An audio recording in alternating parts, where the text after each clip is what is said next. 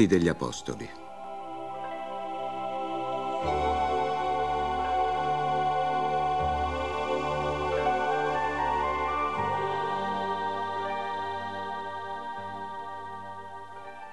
Il libro precedente l'ho dedicato, o Teofilo, ad esporre tutto ciò che Gesù ha operato e insegnato dall'inizio fino al giorno in cui, dopo aver dato disposizioni agli apostoli che si era scelti nello Spirito Santo, fu assunto in cielo.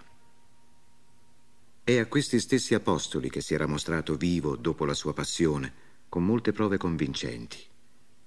Durante 40 giorni era apparso loro e aveva parlato delle cose del regno di Dio. Stando con essi a tavola, diede loro ordine di non allontanarsi da Gerusalemme, ma di aspettare la promessa del Padre, che, disse, avete udito da me. Giovanni battezzò con acqua, ma voi sarete battezzati in Spirito Santo di qui a non molti giorni. I convenuti lo interrogavano dicendo, Signore, è questo il tempo in cui tu intendi restituire la potenza regale ad Israele? Egli rispose loro, Non sta a voi il conoscere i tempi e le circostanze che il Padre ha determinato di propria autorità, ma lo Spirito Santo verrà su di voi e riceverete da Lui la forza per essermi testimoni in Gerusalemme e in tutta la Giudea, la Samaria e fino all'estremità della terra. Dette queste cose, mentre essi lo stavano guardando, fu levato in alto e una nube lo sottrasse ai loro occhi. Stavano con lo sguardo fisso verso il cielo mentre egli se ne andava. Ed ecco che due uomini in vesti bianche si presentarono loro dicendo, Uomini di Galilea, perché ve ne state guardando verso il cielo? Questo Gesù che è stato assunto di mezzo a voi verso il cielo, verrà così, in quel modo come lo avete visto andarsene in cielo. Allora ritornarono a Gerusalemme dal monte chiamato Oliveto, che si trova vicino a Gerusalemme quanto il cammino di un sabato. Entrate in città, salirono nel locale del piano superiore dove abitavano.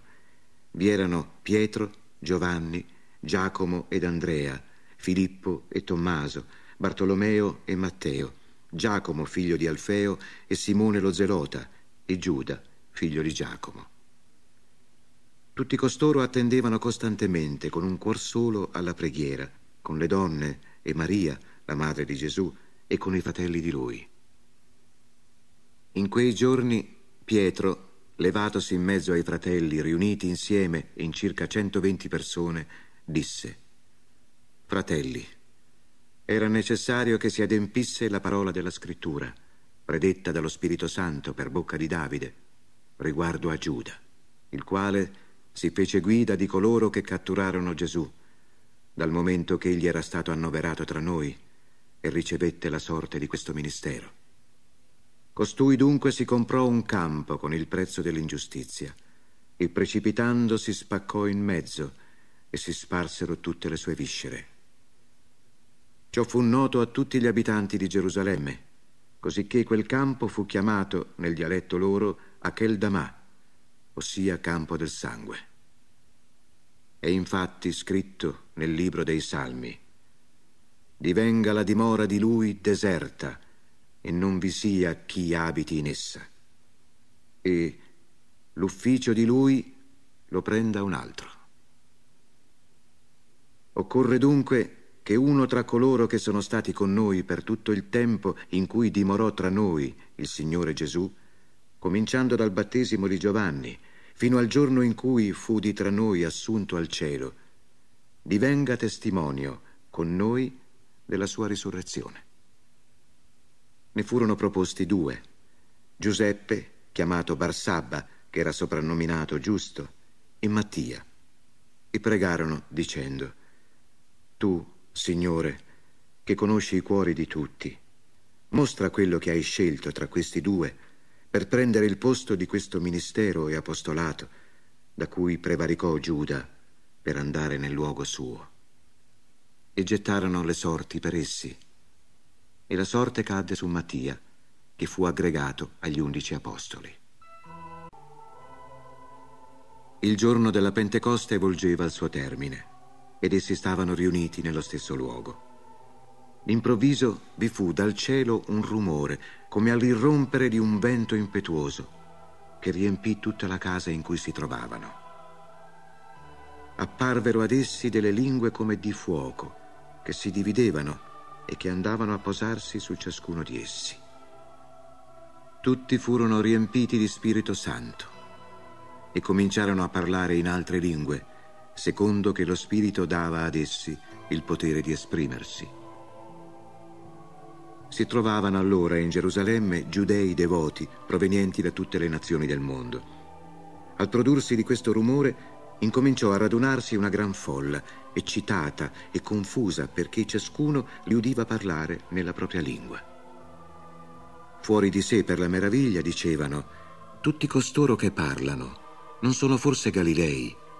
Come mai ciascuno di noi li ode parlare nella propria lingua nativa? Parti, Medi, Elamiti, abitanti della Mesopotamia, della Giudea e della Cappadocia, del Ponto e dell'Asia, della Frigia e della Panfilia, dell'Egitto e delle regioni della Libia presso Cirene, romani qui residenti, sia giudei che proseliti, cretesi e arabi. Tutti quanti li sentiamo esprimere nelle nostre lingue le grandi opere di Dio. Tutti erano sbalorditi e non sapevano che pensare e andavano domandandosi gli uni agli altri che cosa vuol dire tutto ciò. Altri poi, beffandoli, dicevano sono ubriachi di mosto dolce. Allora Pietro, in piedi con gli undici, levò alta la voce e parlò loro così. Voi giudei e abitanti tutti di Gerusalemme, fate attenzione a ciò che sto per dire e porgete l'orecchio alle mie parole. Costoro non sono ubriachi come voi pensate, poiché sono soltanto le nove del mattino. Si sta invece verificando ciò che fu detto per mezzo del profeta Gioele. Negli ultimi giorni, dice il Signore, effonderò il mio spirito su ogni essere umano e profeteranno i vostri figli e le vostre figlie, i vostri giovani vedranno visioni e i vostri anziani sogneranno sogni.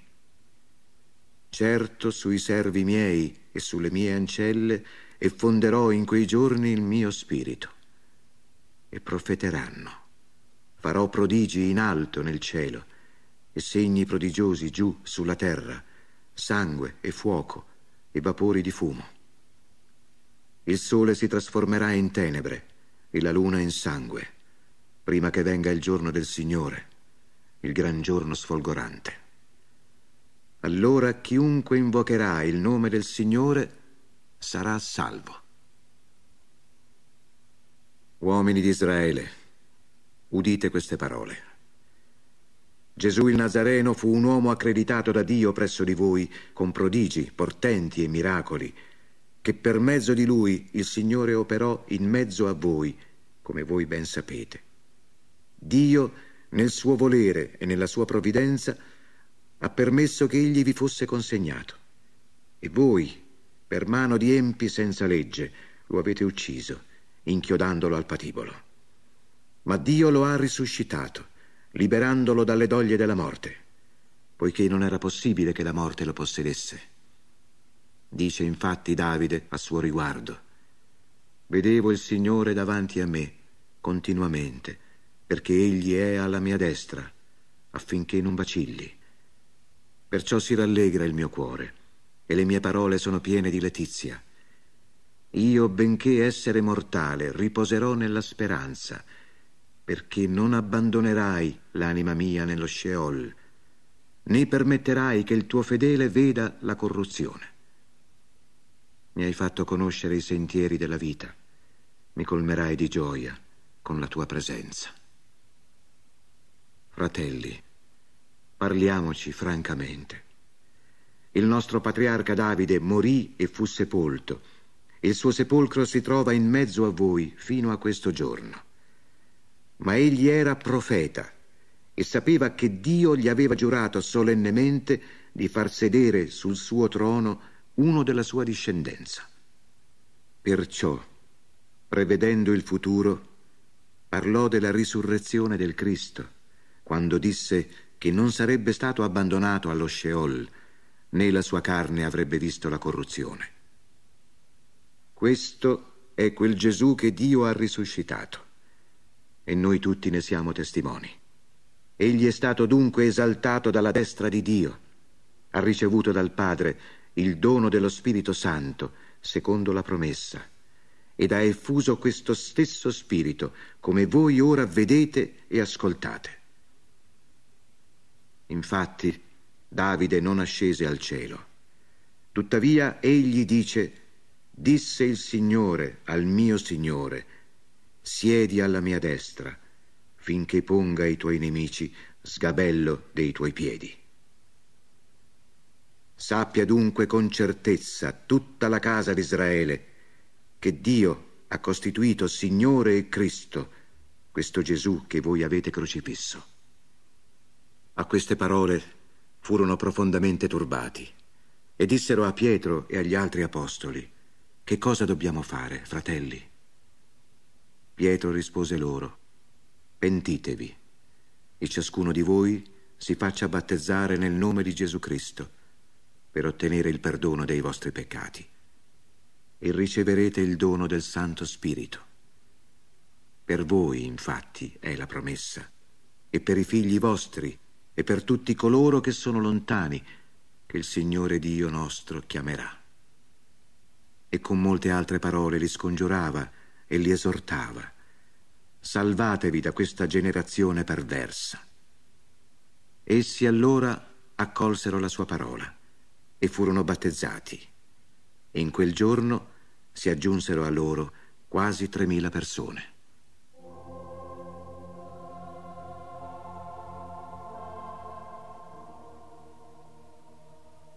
Essi partecipavano assiduamente alle istruzioni degli apostoli, alla vita comune, allo spezzare del pane e alle preghiere.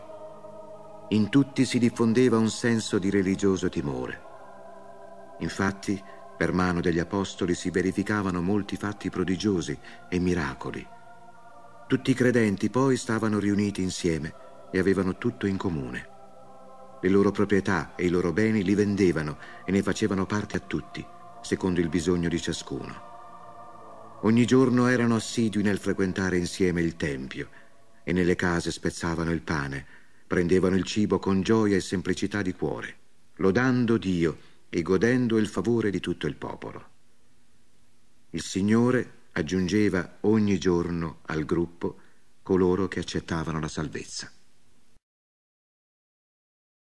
Pietro e Giovanni solevano salire al Tempio per la preghiera dell'ora nona. Ora c'era un uomo zoppo fin dalla nascita che solevano portare e deporre ogni giorno presso la porta del Tempio, detta Bella, per chiedere l'elemosina a quelli che entravano nel Tempio. Vedendo Pietro e Giovanni che stavano per entrare nel Tempio, incominciò a chiedere loro l'elemosina. Allora Pietro, fissandolo negli occhi con Giovanni, disse, guarda verso di noi. Quello li guardò attentamente, attendendosi di ricevere da loro qualcosa. Ma Pietro gli disse, Argento e oro io non ho, ma quel che possiedo te lo do. Nel nome di Gesù Cristo, il Nazareno, cammina. E presolo per la mano destra, lo sollevò. All'istante gli si rinvigorirono i piedi e le caviglie. Con un balzo saltò in piedi e si mise a camminare ed entrò con essi nel tempio, camminando, saltando e lodando Dio. Tutto il popolo lo vide camminare e lodare Dio e conoscevano che era proprio quello che stava seduto abitualmente presso la porta bella del Tempio a chiedere l'elemosina. Erano pieni di stupore e di meraviglia per ciò che gli era accaduto.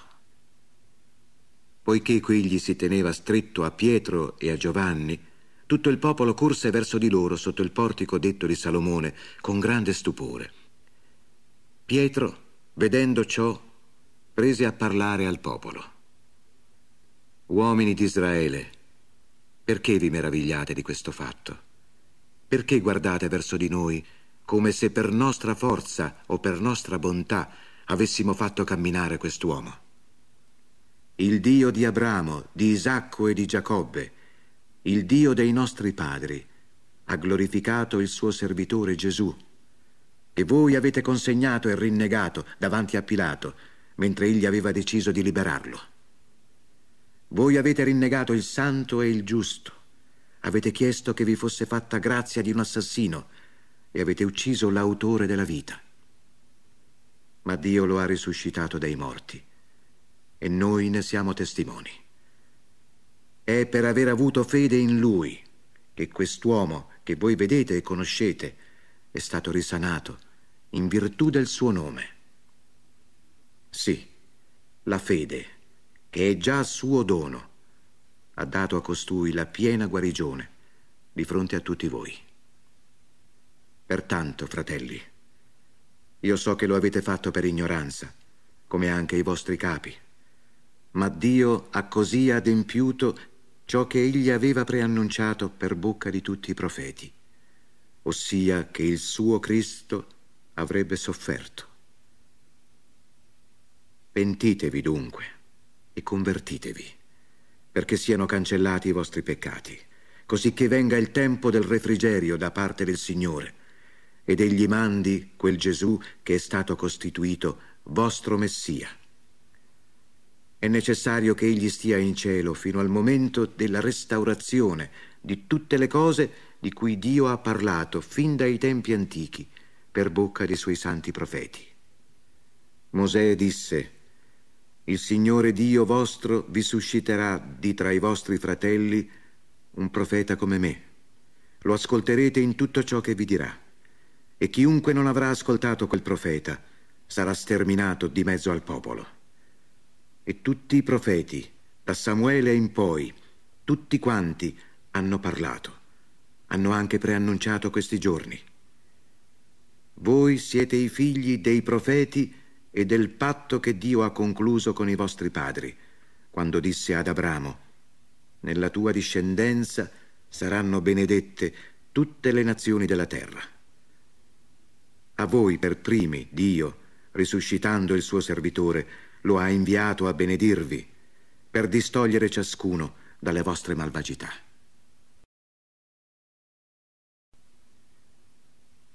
Mentre essi parlavano al popolo, sopravvennero i sacerdoti, il comandante del Tempio e i Sadducei, non potendo tollerare che essi insegnassero al popolo e annunciassero in Gesù la risurrezione dei morti.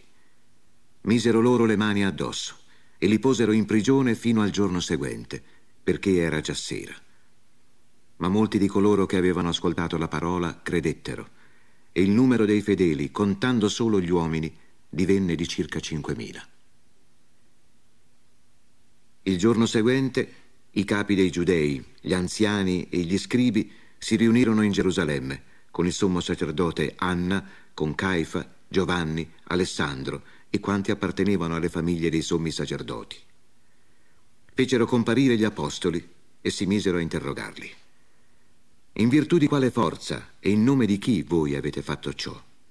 Allora Pietro, pieno di Spirito Santo, disse loro, Capi del popolo e anziani, noi oggi siamo interrogati in giudizio per aver fatto del bene a un povero malato. Ci si chiede in virtù di chi costui è stato risanato. Sappiatelo tutti voi e tutto il popolo di Israele. È nel nome di Gesù Cristo il Nazareno, che voi avete crocifisso, ma che Dio ha risuscitato dai morti. È in virtù di questo nome che costui se ne sta davanti a voi, perfettamente sano. Egli è la pietra respinta da voi costruttori, che è divenuta la testata d'angolo. E non c'è in alcun altro la salvezza. Nessun altro nome, infatti, sotto il cielo, è stato concesso agli uomini, per il quale siamo destinati a salvarci. Vedendo il coraggio di Pietro e di Giovanni e comprendendo d'altra parte che si trattava di uomini illetterati e semplici, erano sbalorditi e si rendevano conto che essi erano coloro che erano stati con Gesù. Vedendo poi in piedi accanto a loro l'uomo che era stato guarito, non avevano nulla da replicare. Ordinarono dunque che li conducessero fuori dal Sinedrio e si misero a consultarsi tra loro, dicendo che cosa dobbiamo fare a questi uomini? Infatti è chiaro a tutti gli abitanti di Gerusalemme che per mezzo loro è avvenuto un evidente miracolo e non possiamo negarlo. Ma perché non si divulghi ancora più tra il popolo? Li minacceremo perché non parlino più a nessuno in quel nome. E richiamatili, intimarono loro di non pronunciare più alcuna parola, né di insegnare nel nome di Gesù. Ma Pietro e Giovanni replicarono loro, Vi pare giusto davanti a Dio ascoltare voi piuttosto che Dio? Giudicatene voi. Noi infatti non possiamo non parlare di ciò che abbiamo visto e sentito. Ma essi, replicate le minacce, li lasciarono andare, non trovando modo di punirli per paura del popolo, poiché tutti glorificavano Dio per quanto era avvenuto. Infatti l'uomo in cui si era verificato questo miracolo di guarigione aveva più di quarant'anni. Quando furono rilasciati, si recarono dai loro fratelli e riferirono quanto avevano loro detto i sommi sacerdoti e gli anziani. Essi, udito ciò, unanimemente alzarono la voce a Dio e dissero, Signore, tu che hai fatto il cielo, la terra, il mare e tutto ciò che è in essi, tu che per mezzo dello Spirito Santo, per bocca del nostro padre Davide, tuo servo, hai detto, perché tumultuano le genti e i popoli tramano vani progetti? Sono insorti i re della terra e i capi hanno fatto congiura contro il Signore e contro il suo Cristo. Davvero in questa città hanno fatto congiura contro il tuo santo servo Gesù, da te consacrato, Erode e Ponzio Pilato, con i pagani e i popoli di Israele, per compiere quanto la tua mano e la tua volontà avevano stabilito che avvenisse. Ed ora, Signore, guarda dall'alto le loro minacce e dà ai tuoi servi di proclamare con pieno coraggio la tua parola, stendendo la tua mano, perché si compiano guarigioni, miracoli e prodigi nel nome del tuo santo servo Gesù. Mentre pregavano, il luogo in cui erano radunati si scosse. Furono riempiti tutti di Spirito Santo e proclamavano la parola di Dio con pieno coraggio.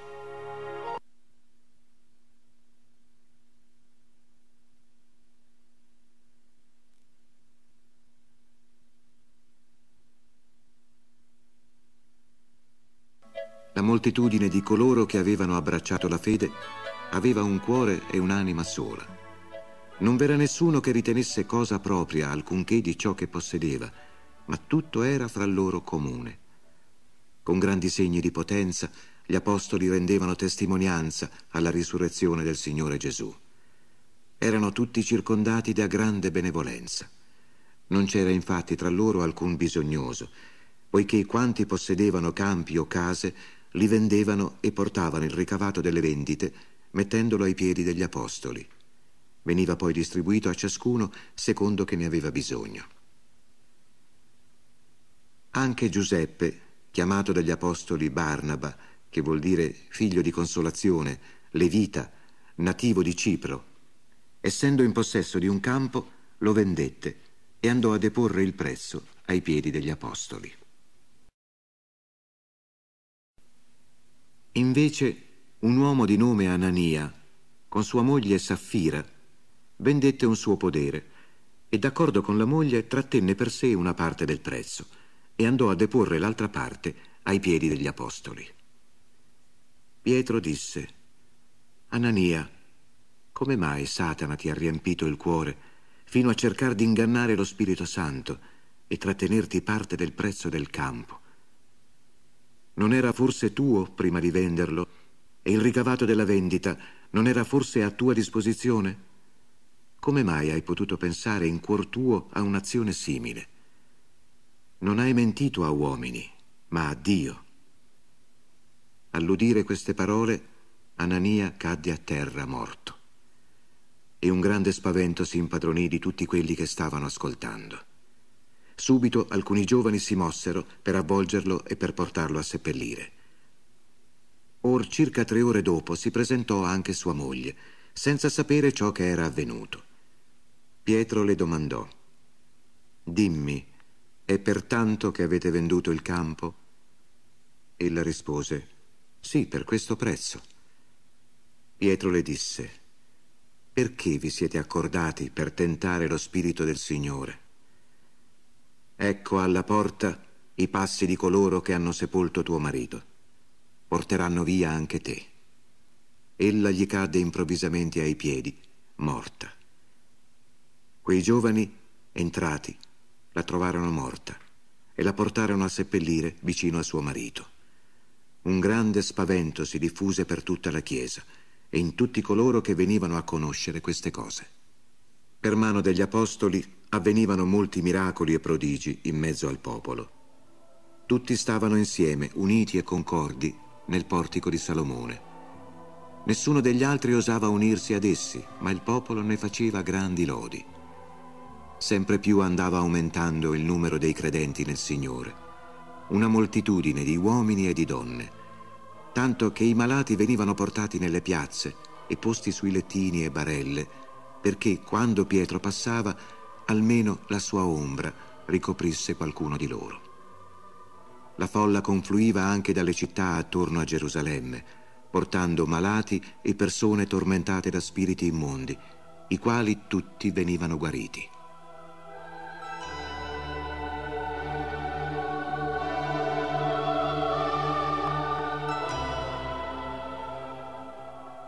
Allora si mossero il sommo sacerdote e tutti i suoi aderenti, cioè la setta dei Sadducei. Pieni di gelosia, misero le mani sugli apostoli e li chiusero nel carcere pubblico.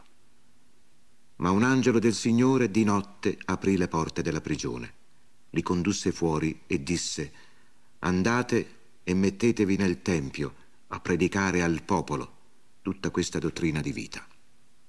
Udito ciò, entrarono di buon mattino nel tempio e si posero ad insegnare. Intanto sopraggiunsero il sommo sacerdote e i suoi aderenti e convocarono il Sinedrio e tutto il senato dei figli di Israele.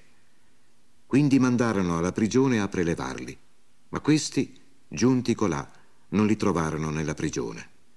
Tornati indietro, riferirono ciò dicendo Abbiamo trovata la prigione chiusa con ogni cautela e le guardie in piedi davanti alle porte ma quando le abbiamo aperte non abbiamo trovato dentro nessuno. Udite queste parole, il comandante del Tempio e i sommi sacerdoti si domandavano turbati come ciò sarebbe andato a finire. Ma qualcuno sopraggiunto in quel momento annunciò loro, ecco, gli uomini che avete messo in prigione stanno nel Tempio e istruiscono il popolo. Allora il comandante del Tempio uscì con le guardie e li ricondusse non però con la forza, poiché avevano paura di essere lapidati dal popolo. Condottili nel Sinedrio, li posero in mezzo e il sommo sacerdote li interrogò. Non vi abbiamo forse formalmente ordinato di non insegnare più in questo nome?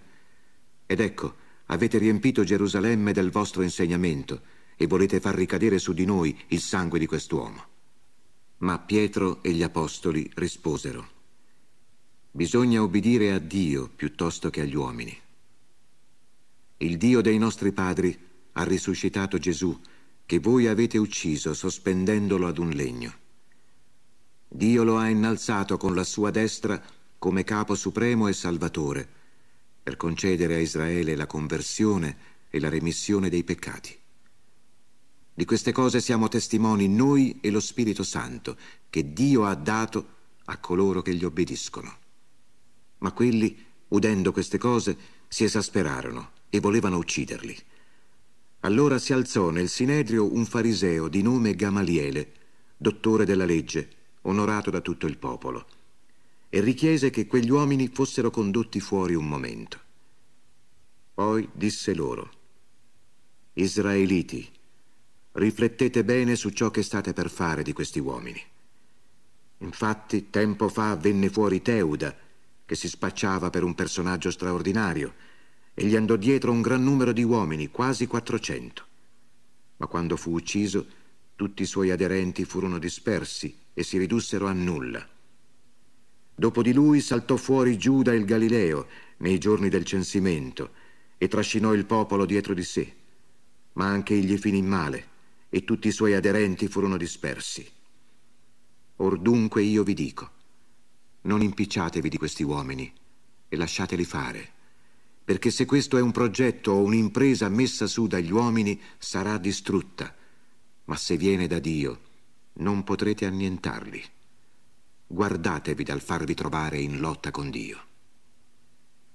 Si attennero al consiglio e fatti chiamare gli apostoli, li fecero percuotere e comandarono loro di non parlare più nel nome di Gesù. Quindi li rilasciarono. Essi se ne andarono via dal Sinedrio, lieti perché erano stati fatti degni di subire oltraggi per il nome.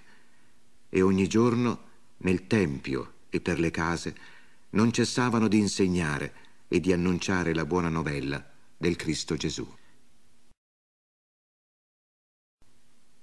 In quei giorni, moltiplicandosi il numero dei discepoli, gli ellenisti incominciarono a mormorare contro gli ebrei perché nella distribuzione quotidiana le loro vedove venivano trascurate.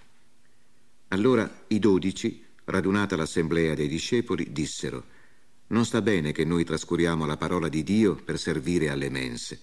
Cercate piuttosto in mezzo a voi, o fratelli, sette uomini di buona fama, pieni di spirito e di sapienza, che noi preporremo a questo servizio. Così noi ci dedicheremo pienamente alla preghiera e al ministero della parola. Questa proposta piacque a tutta l'assemblea e scelsero Stefano, uomo pieno di fede e di Spirito Santo, Filippo, Procoro, Nicanore, Timone, Parmenas e Nicola, proselito di Antiochia. Li presentarono agli apostoli e dopo aver pregato imposero loro le mani. Intanto la parola di Dio si diffondeva e si moltiplicava grandemente il numero dei discepoli in Gerusalemme anche gran folla di sacerdoti aderiva alla fede.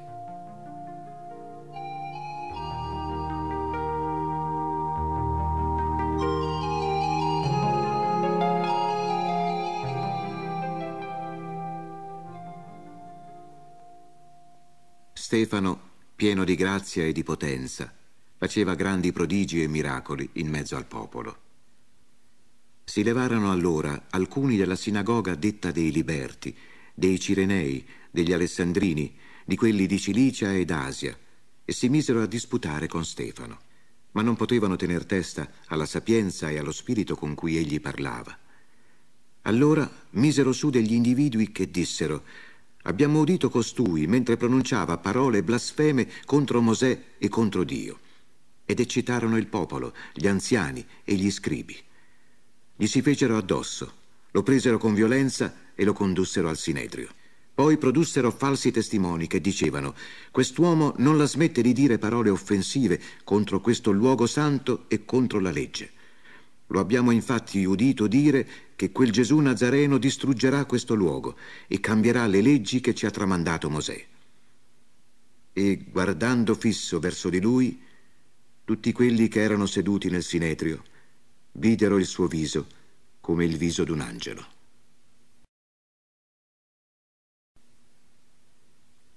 Allora il sommo sacerdote domandò, le cose stanno davvero così? Egli rispose, fratelli e padri, ascoltate. Il Dio della gloria apparve al nostro padre Abramo mentre era in Mesopotamia, prima che abitasse in Carran. Egli disse, esci dalla tua terra, lascia la tua parentela e va nella regione che io ti mostrerò. Allora uscì dalla terra dei Caldei e pose dimora in Carran. Di là, dopo la morte di suo padre, Dio lo trasferì in questa regione nella quale ora voi abitate. E qui non gli diede in eredità neppure lo spazio da posarvi un piede, ma promise di darla in possesso a lui, alla sua discendenza dopo di lui, benché non avesse figli. Parlò dunque Dio così. La sua discendenza dovrà soggiornare in terra straniera e la ridurranno in servitù e la maltratteranno per quattrocento anni. Ma il popolo di cui essi saranno schiavi io lo giudicherò, disse il Signore. E dopo queste vicende usciranno e mi daranno culto in questo luogo. Poi gli diede il patto della circoncisione. E così egli generò Isacco e lo circoncise l'ottavo giorno. E Isacco generò Giacobbe, e Giacobbe i dodici patriarchi. I patriarchi per invidia vendettero Giuseppe, che fu condotto in Egitto, ma Dio era con lui e lo trasse fuori da tutte le sue tribolazioni e gli diede grazia e sapienza di fronte a Faraone, re di Egitto, che lo costituì governatore dell'Egitto e di tutta la sua casa. Sopraggiunse poi una carestia su tutto l'Egitto e su Canaan. La penuria era grande e i nostri padri non trovavano nutrimento. Allora Giacobbe, avendo saputo che in Egitto c'era grano, vi mandò una prima volta ai nostri padri. La seconda volta Giuseppe si fece riconoscere dai suoi fratelli e il faraone conobbe di che stirpe era Giuseppe. Allora Giuseppe mandò a chiamare suo padre Giacobbe e tutta la famiglia, in tutto 75 persone. E Giacobbe discese in Egitto, dove morì lui e i nostri padri. Essi furono trasferiti a Sichem e deposti nel sepolcro che Abramo aveva comprato a prezzo d'argento dai figli di Emor in Sichem. Avvicinandosi il tempo della promessa che Dio aveva fatto solennemente ad Abramo, il popolo si accrebbe e si moltiplicò in Egitto, finché sorse in Egitto un altro re che non conosceva Giuseppe. Costui, usando astuzia e malizia verso la nostra stirpe, oppresse i padri e li costrinse a esporre i loro bambini perché non sopravvivessero. In quel tempo nacque Mosè e fu gradito a Dio. Egli fu nutrito per tre mesi nella casa di suo padre e quando fu esposto la figlia del faraone lo raccolse e lo nutrì come suo figlio. Mosè fu educato secondo tutta la sapienza degli egiziani ed era potente in parole e in opere. Quando giunse all'età di quarant'anni, sentì il desiderio di visitare i suoi fratelli, i figli di Israele, e vedendo un tale che veniva maltrattato, lo difese e fece vendetta dell'oppresso, uccidendo l'egiziano. Egli pensava che i suoi fratelli avrebbero capito che Dio, per suo mezzo, intendeva di dare ad essi salvezza. Ma essi non compresero. Il giorno seguente comparve in mezzo a loro mentre litigavano e cercava di riconciliarli e di rappacificarli, dicendo Uomini, siete fratelli, perché vi fate torto l'un l'altro? Ma colui che stava facendo torto al suo prossimo lo respinse, dicendo Chi ti ha posto a capo e giudice su di noi? Vuoi forse uccidermi come hai ucciso ieri l'egiziano? A queste parole Mosè fuggì e andò ad abitare in Madian, dove ebbe due figli. Quarant'anni dopo gli apparve nel deserto del monte Sinai un angelo tra le fiamme d'un roveto ardente. A quella visione Mosè rimase stupito e mentre si avvicinava per vedere meglio si udì la voce del Signore. Io sono il Dio dei tuoi padri, il Dio di Abramo, di Isacco e di Giacobbe. Tutto tremante Mosè non osava alzare lo sguardo, ma il Signore gli disse, levati i calzari dai piedi, perché il luogo in cui stai e terra santa. Ho visto i maltrattamenti subiti dal mio popolo in Egitto, ho udito i loro gemiti e sono disceso per liberarli. Ed ora vieni, che io voglio mandarti in Egitto. Proprio quel Mosè che essi avevano rinnegato, dicendo chi ti ha costituito capo e giudice, proprio lui Dio mandò come capo e salvatore per mezzo dell'angelo che gli era apparso nel roveto. Egli li fece uscire, operando prodigi e miracoli nella terra d'Egitto, nel Mar Rosso e nel deserto, per quarant'anni. Egli è quel Mosè che disse ai figli di Israele, un profeta vi susciterà il Signore di tra i vostri figli, come me. Egli è colui che nell'assemblea del deserto fu intermediario fra l'angelo che gli parlava sul monte Sinai e i nostri padri. Egli ricevette le parole di vita per darle a noi. Ma a lui non vollero ubbidire i nostri padri, anzi lo respinsero e rivolsero i loro cuori verso l'Egitto, dicendo ad Aronne, facci degli dei che camminino davanti a noi.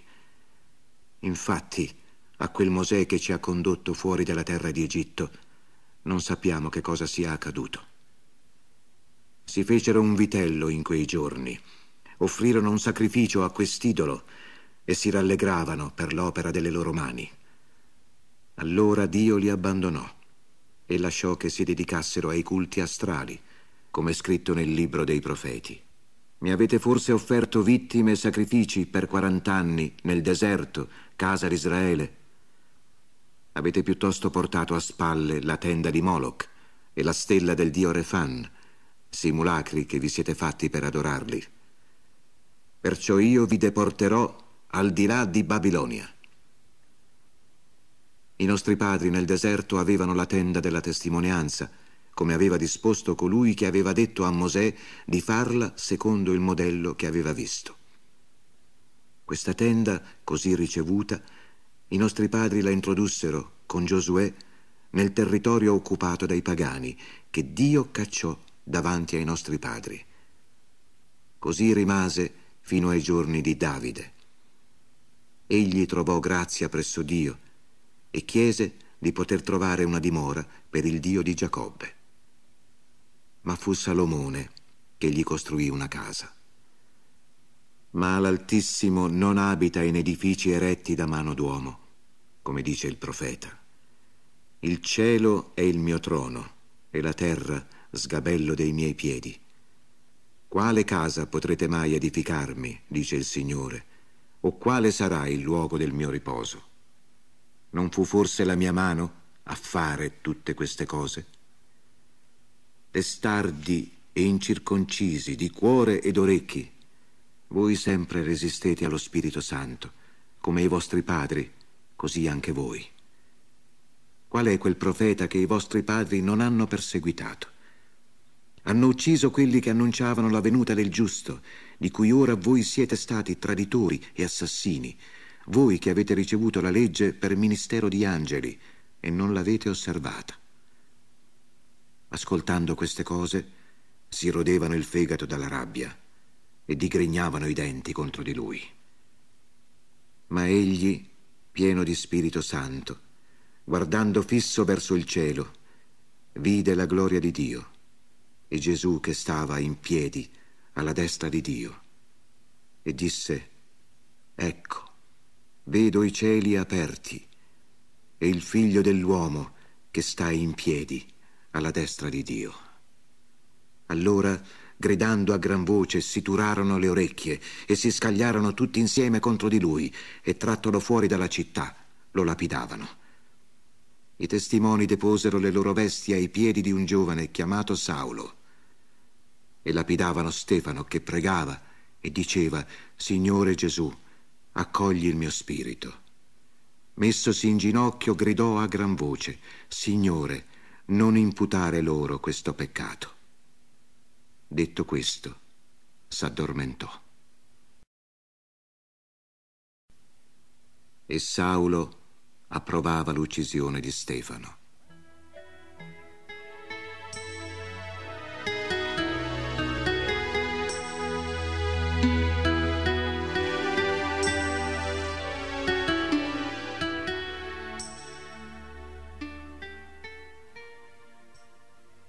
In quel giorno si scatenò una grande persecuzione contro la Chiesa che era in Gerusalemme. Tutti si dispersero nelle campagne della Giudea e della Samaria, ad eccezione degli Apostoli. Alcune pie persone seppellirono Stefano e fecero per lui un grande lutto. Saulo, intanto, devastava la Chiesa. Entrava nelle case, trascinava fuori uomini e donne e li faceva mettere in prigione.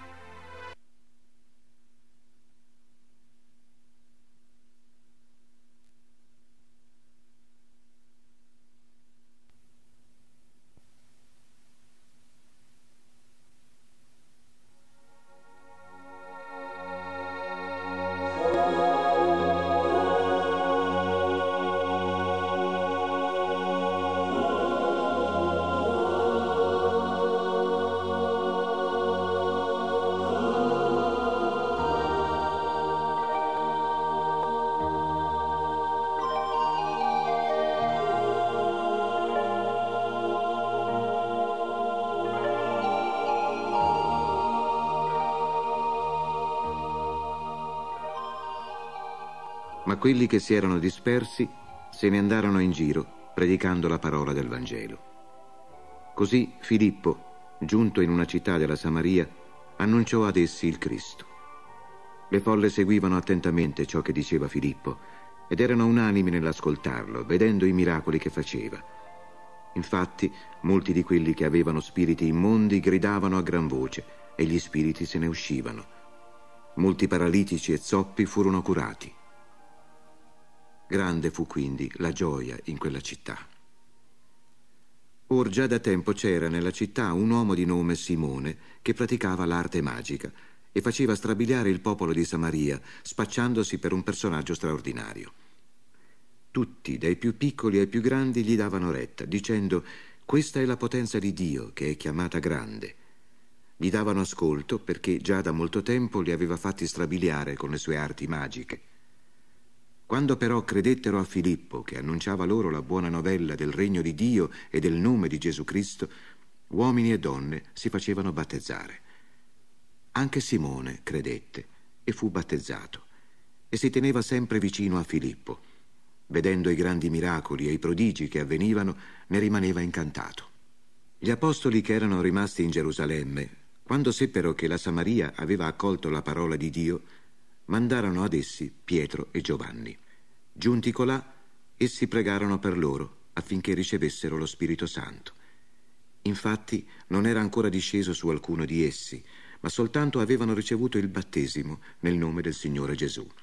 Allora imposero loro le mani e ricevevano lo Spirito Santo.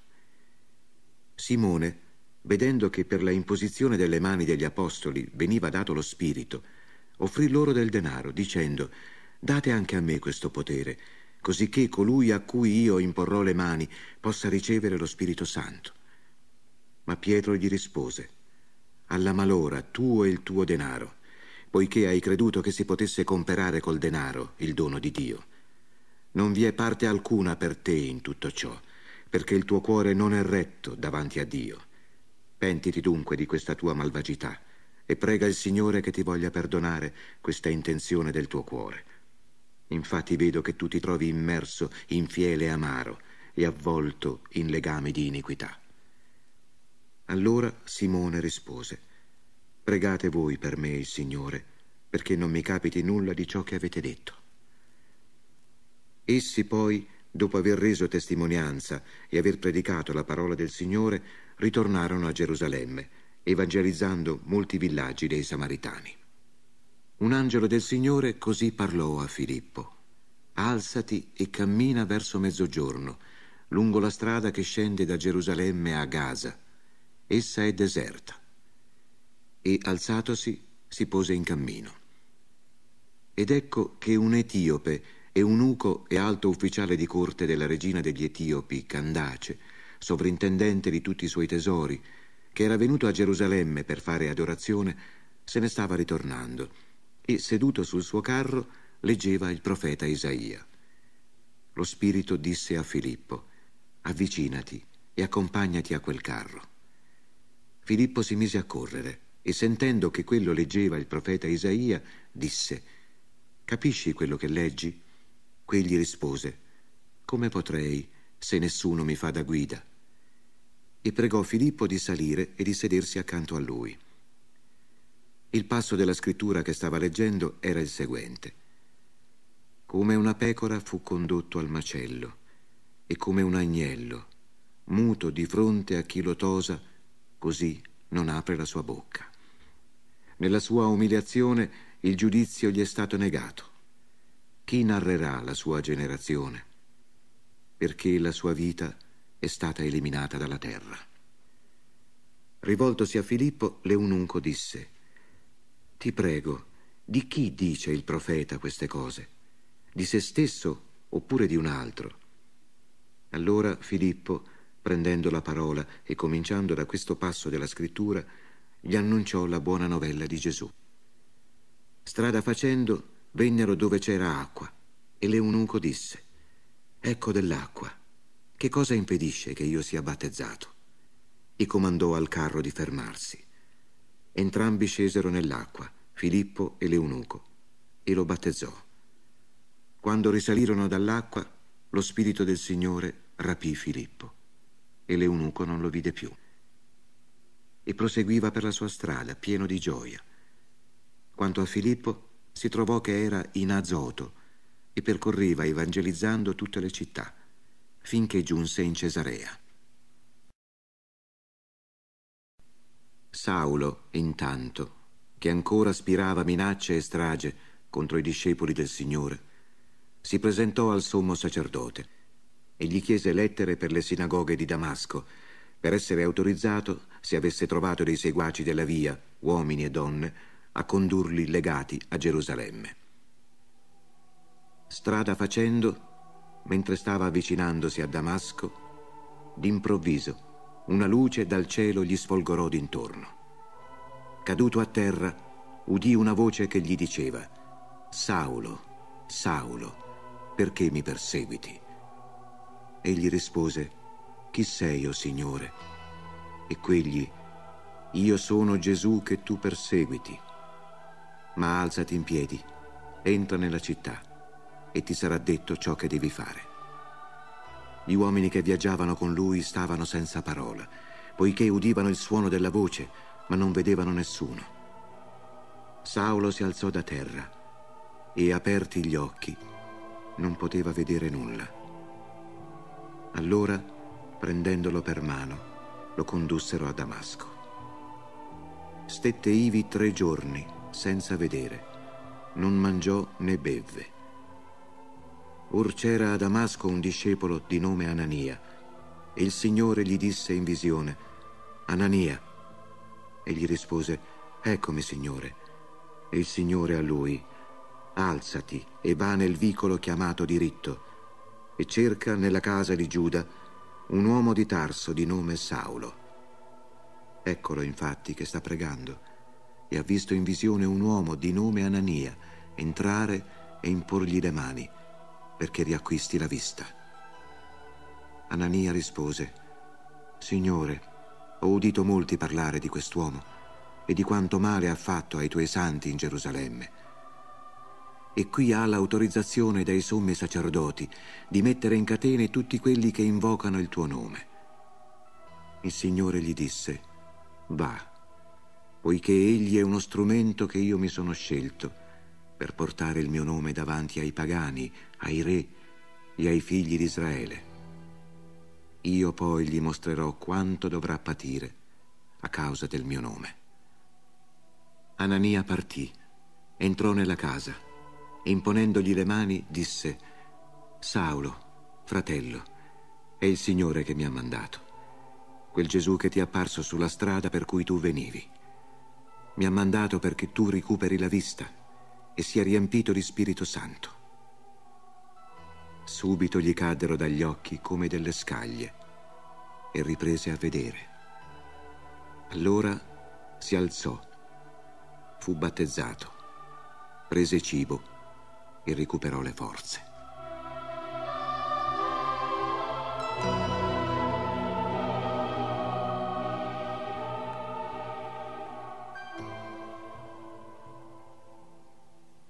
Si trattenne con i discepoli che erano a Damasco per alcuni giorni e subito si mise a predicare Gesù nelle sinagoghe, proclamando Questi è il figlio di Dio. Tutti coloro che lo udivano restavano sbalorditi e dicevano Non è forse lui quello che si è accanito in Gerusalemme contro coloro che invocavano questo nome ed è venuto qui proprio per condurli incatenati ai sommi sacerdoti? Ma Saulo si animava sempre più e confondeva i giudei che abitavano in Damasco, sostenendo che costui è il Cristo. Passati parecchi giorni, i giudei si accordarono per ucciderlo, ma la loro trama fu resa nota a Saulo. Essi sorvegliavano anche le porte della città, giorno e notte, per ucciderlo. Allora i suoi discepoli lo presero di notte e lo calarono lungo il muro, in una sporta. Giunto a Gerusalemme, cercava di associarsi ai discepoli, ma tutti lo temevano, non credendo che fosse un discepolo. Allora Barnaba lo prese con sé, lo condusse dagli apostoli e raccontò loro come per strada aveva visto il Signore, il quale gli aveva parlato, e come a Damasco aveva predicato apertamente nel nome di Gesù. Da allora restò con loro in Gerusalemme in piena familiarità e prese coraggio per parlare apertamente nel nome del Signore. Parlava e disputava con gli ellenisti, ma quelli tramavano per ucciderlo. I fratelli, venuti a conoscenza della cosa, lo condussero a Cesarea e lo fecero partire per Tarso. La Chiesa, intanto, in tutta la Giudea, la Galilea e la Samaria, era in pace e si edificava e progrediva nel timore del Signore, piena della consolazione dello Spirito Santo. Or avvenne che Pietro, percorrendo tutte queste regioni, discese anche presso i santi che abitavano in Lidda. Trovò qui un uomo di nome Enea, che da otto anni giaceva su un letto, perché era paralitico. Pietro gli disse, Enea, Gesù Cristo ti guarisce. Sorgi e rifatti da solo il tuo letto. E subito si alzò lo videro tutti quelli che abitavano Lidda e la pianura di Saron e si convertirono al Signore. A Giaffa c'era una discepola di nome Tabità, che significa gazzella. Essa faceva molte opere buone e molte elemosine. Proprio in quei giorni si ammalò e morì. Lavarono il cadavere e lo esposero al piano superiore. Essendo Lidda vicino a Giaffa, i discepoli, saputo che Pietro si trovava colà, mandarono da lui due uomini, pregandolo, non tardare a venire fino a noi. Pietro si alzò e partì con loro. Quando giunse, lo condussero al piano superiore e si presentarono a lui tutte le vedove che piangevano e gli mostravano le tuniche e le vesti che Gazzella faceva quando era ancora con loro. Pietro allora fece uscire tutti e postosi in ginocchio pregò. Rivolto al cadavere disse, Tabità, alzati. Ella aprì gli occhi e, veduto Pietro, si pose a sedere. Egli, dandole la mano, la fece alzare. Poi chiamò i santi e le vedove e la presentò loro viva. Questo fatto fu risaputo in tutta Giaffa e molti credettero nel Signore. Egli rimase in Giaffa parecchi giorni, in casa di un certo Simone, conciatore di pelli. A Cesarea c'era un uomo chiamato Cornelio, centurione della corte detta italica, pio e timorato di Dio come tutti quelli della sua casa. Faceva molte elemosine al popolo e pregava Dio continuamente. Egli vide chiaramente in visione, verso l'ora nona del giorno, un angelo del Signore entrare nella sua stanza e dirgli Cornelio. Egli lo guardò e preso da timore disse Che c'è, Signore? Quello gli rispose Le tue preghiere e le tue elemosine sono salite al cospetto di Dio e sono ricordate. Ora manda alcuni uomini a Giaffa e fa venire un certo Simone, soprannominato Pietro Costui è ospite presso un certo Simone Conciatore, che ha una casa presso il mare.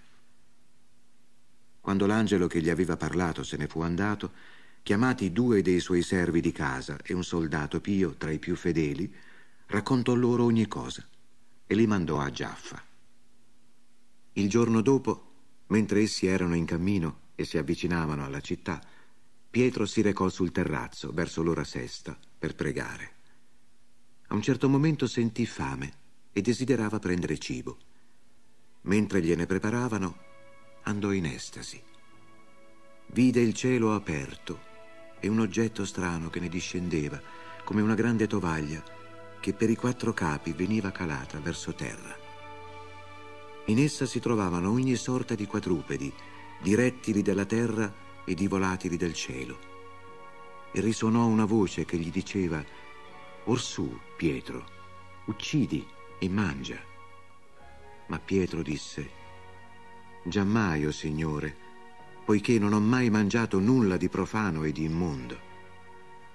La voce si fece sentire una seconda volta per dirgli, ciò che Dio ha purificato, tu non chiamarlo immondo. Questo avvenne per tre volte. Poi, d'un tratto, l'oggetto fu portato su verso il cielo.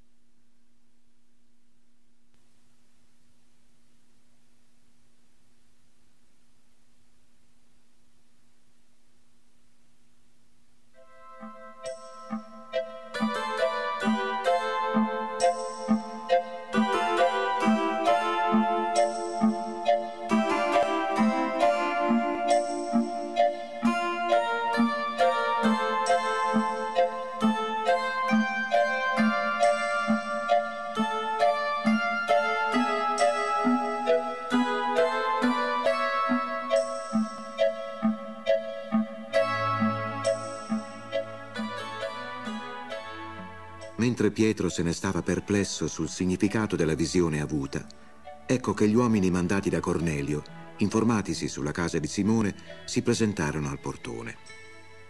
Chiamarono e domandarono se fosse alloggiato là Simone soprannominato Pietro.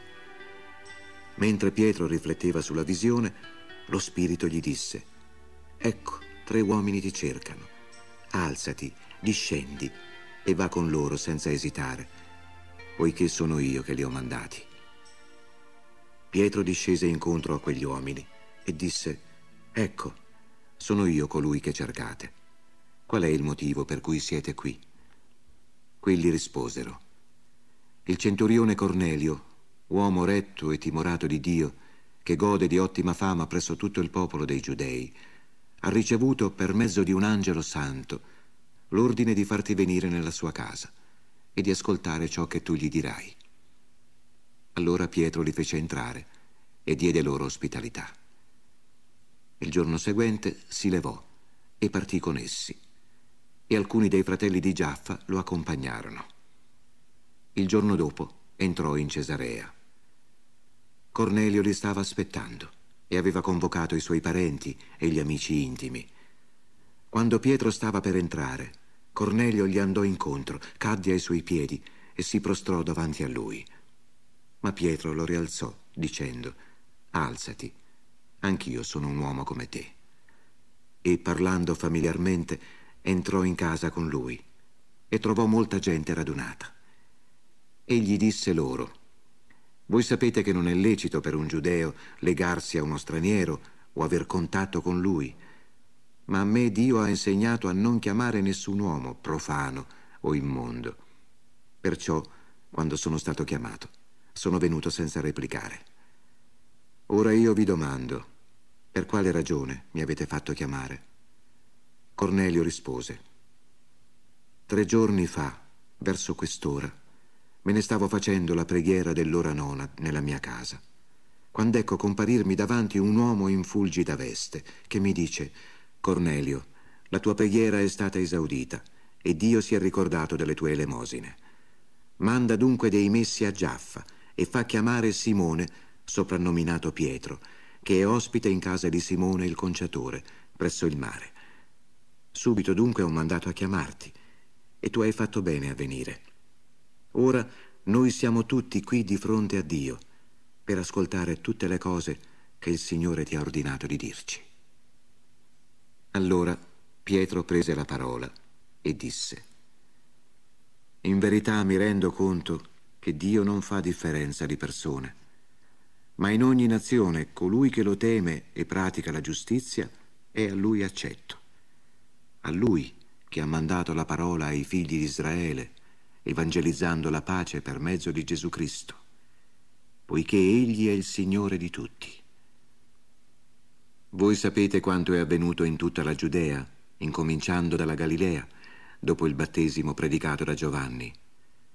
Dio ha consacrato in Spirito Santo e potenza Gesù di Nazareth, che passò facendo del bene e sanando tutti quelli che erano sotto il potere del diavolo, perché Dio era con lui.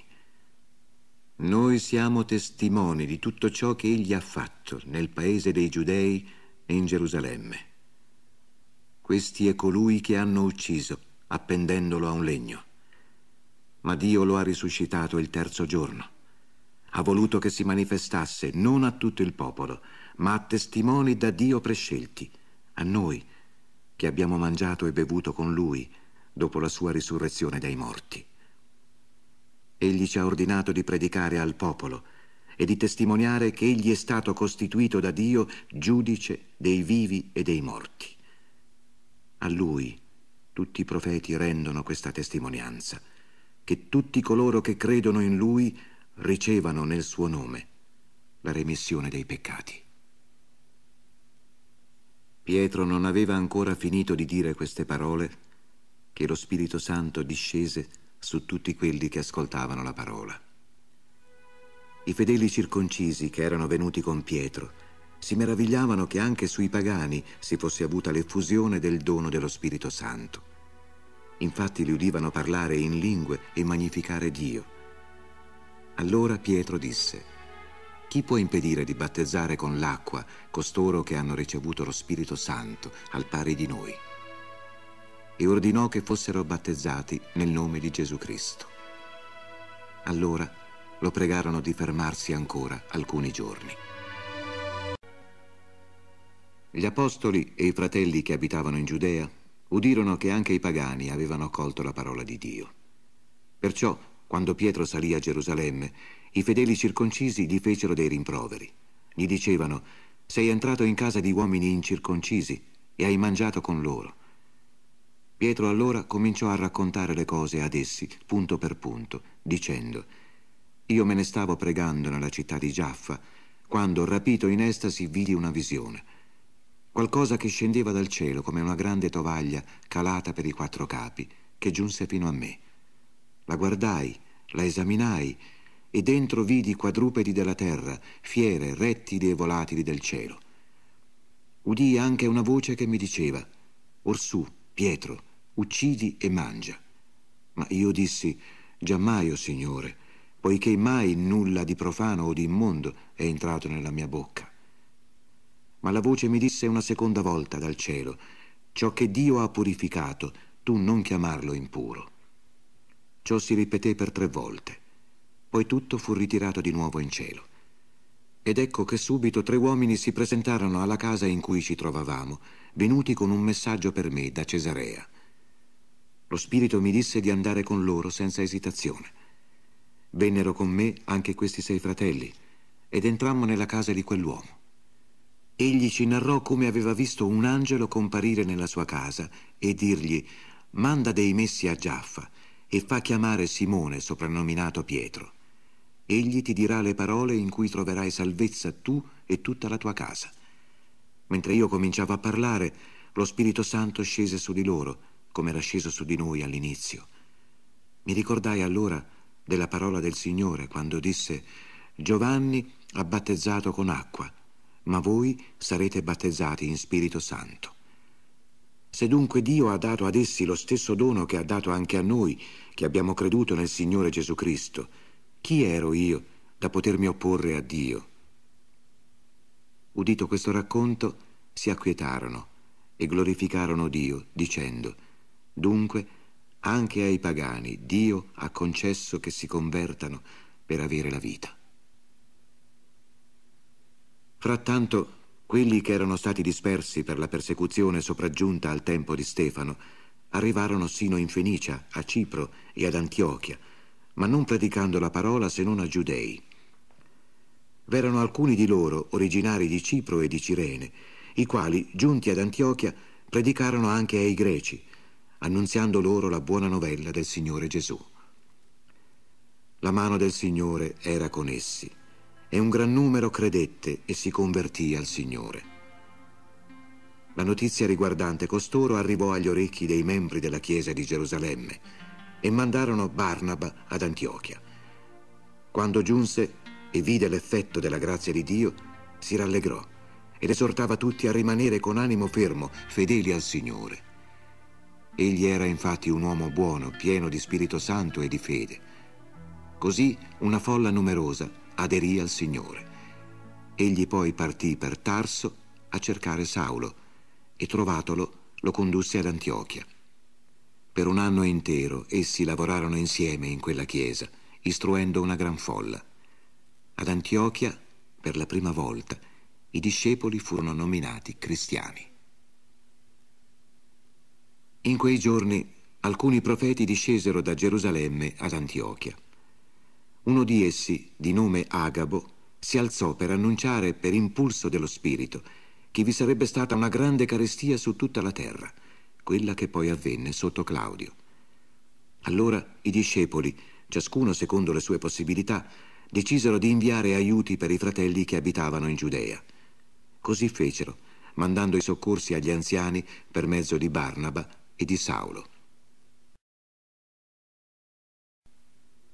Verso quel tempo il re Erode prese a maltrattare alcuni membri della Chiesa. Fece morire di spada Giacomo, fratello di Giovanni. Vedendo che ciò era gradito ai giudei, mandò ad arrestare anche Pietro. Si era nei giorni degli azimi. Catturato, lo pose in carcere, dandolo a sorvegliare a quattro picchetti di quattro soldati ciascuno, con l'intenzione di farlo comparire davanti al popolo dopo la Pasqua. Mentre Pietro era tenuto prigioniero, la Chiesa rivolgeva senza sosta preghiere a Dio per lui. La notte precedente il giorno fissato da Erode per farlo comparire davanti al popolo, Pietro dormiva in mezzo a due soldati, legato con due catene, mentre le sentinelle davanti alla porta facevano la guardia alla prigione. Ed ecco un angelo del Signore gli si avvicinò e una luce risplendette nella cella. L'angelo scosse Pietro ad un fianco e lo svegliò dicendogli Alzati, presto. Le catene gli caddero dalle mani. L'angelo gli disse Mettiti la cintura e legati i sandali. Così fece. Poi gli dice Avvolgiti nel mantello e seguimi. E uscito lo seguiva, ma non si rendeva conto che era vero ciò che gli stava accadendo per mezzo dell'angelo. Gli sembrava piuttosto di vedere una visione. Oltrepassato il primo posto di guardia e il secondo, vennero alla porta di ferro che metteva in città. Essa si aprì da sola davanti a loro. Uscirono, si avviarono per una strada. Improvvisamente l'angelo si dileguò da lui. Allora Pietro, rientrato in sé, disse, Ora capisco davvero che il Signore ha mandato il suo angelo e mi ha liberato dalla mano di Erode e ha reso vana l'attesa del popolo dei giudei. Dopo aver riflettuto, si diresse verso la casa di Maria, madre di Giovanni, soprannominato Marco, dove vi erano molti radunati e in preghiera. Picchiò ai battenti del portone e una serva di nome Rode s'accostò per sentire. Riconobbe la voce di Pietro, ma per la gioia non aprì il portone e corse dentro per annunciare che Pietro stava davanti al portone. Quelli le dissero, sei impazzita, ma lei continuava a sostenere che era così e quelli dicevano, è il suo angelo. Intanto Pietro continuava a bussare. Aperto, videro che era lui e rimasero sbalorditi. Fatto loro segno con la mano di tacere, raccontò loro come il Signore lo aveva fatto uscire dalla prigione. Poi disse, comunicate questa notizia a Giacomo e ai fratelli. Poi uscì e andò in un altro luogo. Fattosi giorno, vi fu un gran subbuglio tra i soldati. Che ne era di Pietro? Erode lo fece cercare e non avendolo trovato interrogò le guardie e ordinò che fossero portate al supplizio. Poi dalla Giudea discese a Cesarea, dove si trattenne. Erode aveva un grave dissidio con quelli di Tiro e di Sidone, ma essi d'accordo si presentarono a lui e avendo guadagnato alla loro causa Blasto, ciambellano del re, sollecitavano la pace, poiché il loro paese era rifornito di viveri dal paese del re. Nel giorno stabilito, Erode, rivestito degli abiti regali e seduto in trono, tenne loro un'allocuzione. Il popolo gridava, voce di Dio e non di un uomo. Ma all'istante un angelo del Signore lo percosse, perché non aveva dato gloria a Dio, e divorato dai vermi, spirò. Intanto la parola di Dio cresceva e si moltiplicava. Barnaba e Saulo ritornarono da Gerusalemme, avendo compiuto la loro missione, e portarono con sé Giovanni, soprannominato Marco.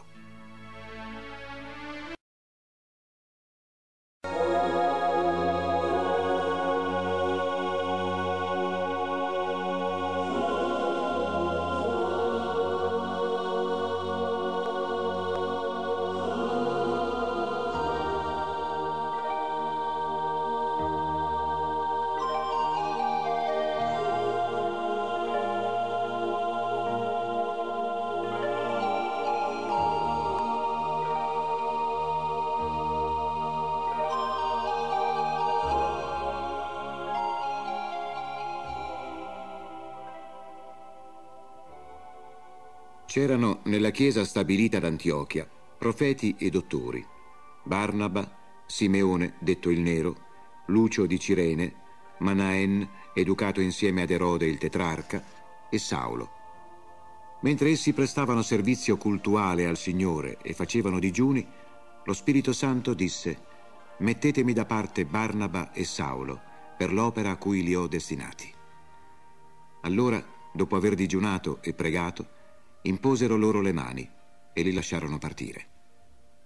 Essi, mandati in missione dallo Spirito Santo, scesero a Seleucia e di là si imbarcarono per Cipro. Giunti a Salamina vi annunciavano la parola di Dio nelle sinagoghe dei giudei. Avevano anche Giovanni come aiutante. Attraversata tutta l'isola fino a Pafo, trovarono un mago uno pseudoprofeta giudeo di nome Bar Jesus, che stava col proconsole Sergio Paolo, uomo intelligente. Costui fece chiamare Barnaba e Saulo, perché desiderava ascoltare la parola di Dio. Ma Elimas, il mago, questo infatti è il significato del suo nome, si opponeva loro, cercando di distogliere il proconsole dalla fede. Allora Saulo, detto anche Paolo, pieno di Spirito Santo, fissandolo in volto, disse uomo ricolmo di ogni inganno e di ogni malizia, figlio del diavolo, nemico di ogni giustizia, non la finirai di distorcere le vie rette del Signore. Ed ora, ecco, la mano del Signore è su di te. Resterai cieco e per un certo tempo non potrai vedere la luce del sole. In quell'istante buio e oscurità lo avvolsero ed egli andava intorno cercando chi lo conducesse per mano. Allora il proconsole, vedendo ciò che era accaduto, abbracciò la fede, colpito dalla dottrina del Signore. Paolo e i suoi compagni si imbarcarono da Pafo e giunsero a Perge di Panfilia. Giovanni si separò da loro e ritornò a Gerusalemme. Essi, partendo da Perge, con una traversata giunsero ad Antiochia di Pisidia. Il giorno di sabato entrarono nella sinagoga e si posero a sedere. Dopo la lettura della legge e dei profeti, i capi della sinagoga mandarono a dir loro, fratelli, se avete qualche parola d'esortazione per il popolo, ditela. Allora Paolo, alzatosi e fatto segno con la mano, disse, Uomini di Israele, e voi che temete Dio, ascoltate. Il Dio di questo popolo di Israele scelse i padri nostri ed esaltò il popolo durante la sua dimora in Egitto e con opere prodigiose li condusse fuori da quella terra. Per circa quarant'anni li assisté nel deserto. Poi distrusse sette popoli nella terra di Canaan e diede ad essi in eredità la loro terra. Tutto ciò nello spazio di circa 450 anni. Dopo diede loro dei giudici fino al profeta Samuele. Poi chiesero un re e Dio diede loro Saul, figlio di Cis, della tribù di Beniamino, per quarant'anni. Dopo averlo deposto, suscitò loro un altro re, Davide, a cui rese questa testimonianza. Ho trovato Davide, figlio di Jesse, uomo secondo il mio cuore, che eseguirà tutti i miei voleri. Dalla sua discendenza, Dio, secondo la promessa, trasse un Salvatore per Israele, Gesù. Giovanni preparò la sua venuta predicando un battesimo di penitenza a tutto il popolo di Israele. E quando Giovanni stava per compiere la sua missione, diceva, io non sono ciò che voi pensate che io sia, ma ecco, viene dopo di me uno a cui io non sono degno di slegare i sandali. Fratelli, figli della stirpe di Abramo, e voi che temete Dio, è a noi che è stato mandato questo messaggio di salvezza. Infatti, gli abitanti di Gerusalemme e i loro capi, rifiutando di riconoscere lui e non comprendendo gli oracoli dei profeti che si leggono ogni sabato, li hanno adempiuti, pronunziando la sua condanna. E pur non avendo trovato nessun motivo di condanna a morte, chiesero a Pilato che fosse ucciso. Quando ebbero compiuto tutto ciò che era stato scritto intorno a lui, lo deposero dal patibolo e lo misero in un sepolcro. Ma Dio l'ha risuscitato dai morti ed è apparso durante molti giorni a quelli che erano saliti con lui dalla Galilea a Gerusalemme, i quali ora sono suoi testimoni davanti al popolo. E noi vi proclamiamo la buona novella. La promessa fatta ai padri Dio l'ha adempiuta per noi, loro figli, facendo risorgere Gesù, come è scritto nel Salmo secondo. Tu sei il mio figlio, io oggi ti ho generato. Che poi lo abbia fatto risuscitare dai morti, così che non ritorni alla corruzione, lo ha detto affermando, darò a voi le cose sante di Davide, quelle permanenti. Perciò dice ancora in un altro luogo, non permetterai che il tuo santo veda la corruzione.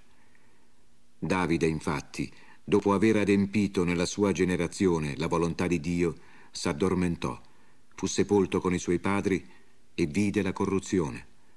Ma colui che Dio ha risuscitato non ha visto la corruzione. Vi sia dunque noto, o fratelli, che per mezzo suo a voi è annunciato il perdono dei peccati e l'intera giustificazione che non avete potuto ottenere mediante la legge di Mosè, per mezzo suo la ottiene chiunque crede. Guardate perciò che non s'avveri per voi la parola dei profeti. Guardate, o spergiuri, stupitevi e allibite, perché io farò un'opera nei vostri giorni, un'opera che non la credereste se ve la raccontassero. All'uscita li pregavano di parlare loro di queste cose anche nel sabato seguente. Scioltasi l'adunanza, molti giudei e proseliti adoratori di Dio accompagnarono Paolo e Barnaba, i quali, continuando a parlare loro, li persuasero a perseverare nella grazia di Dio. Il sabato seguente quasi tutta la città si radunò per ascoltare la parola di Dio. I giudei, vedendo quella folla, furono presi da gelosia e contraddicevano alle cose dette da Paolo, bestemmiando.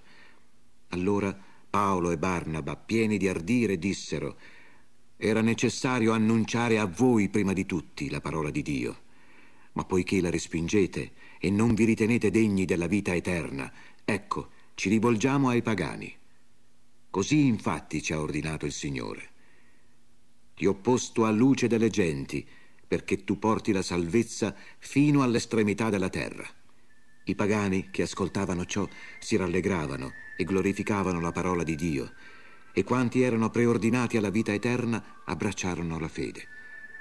La parola del Signore si diffondeva per tutta la regione, ma i giudei istigarono le donne devote della nobiltà e gli uomini di primo piano della città, suscitarono una persecuzione contro Paolo e Barnaba e li cacciarono dai loro confini.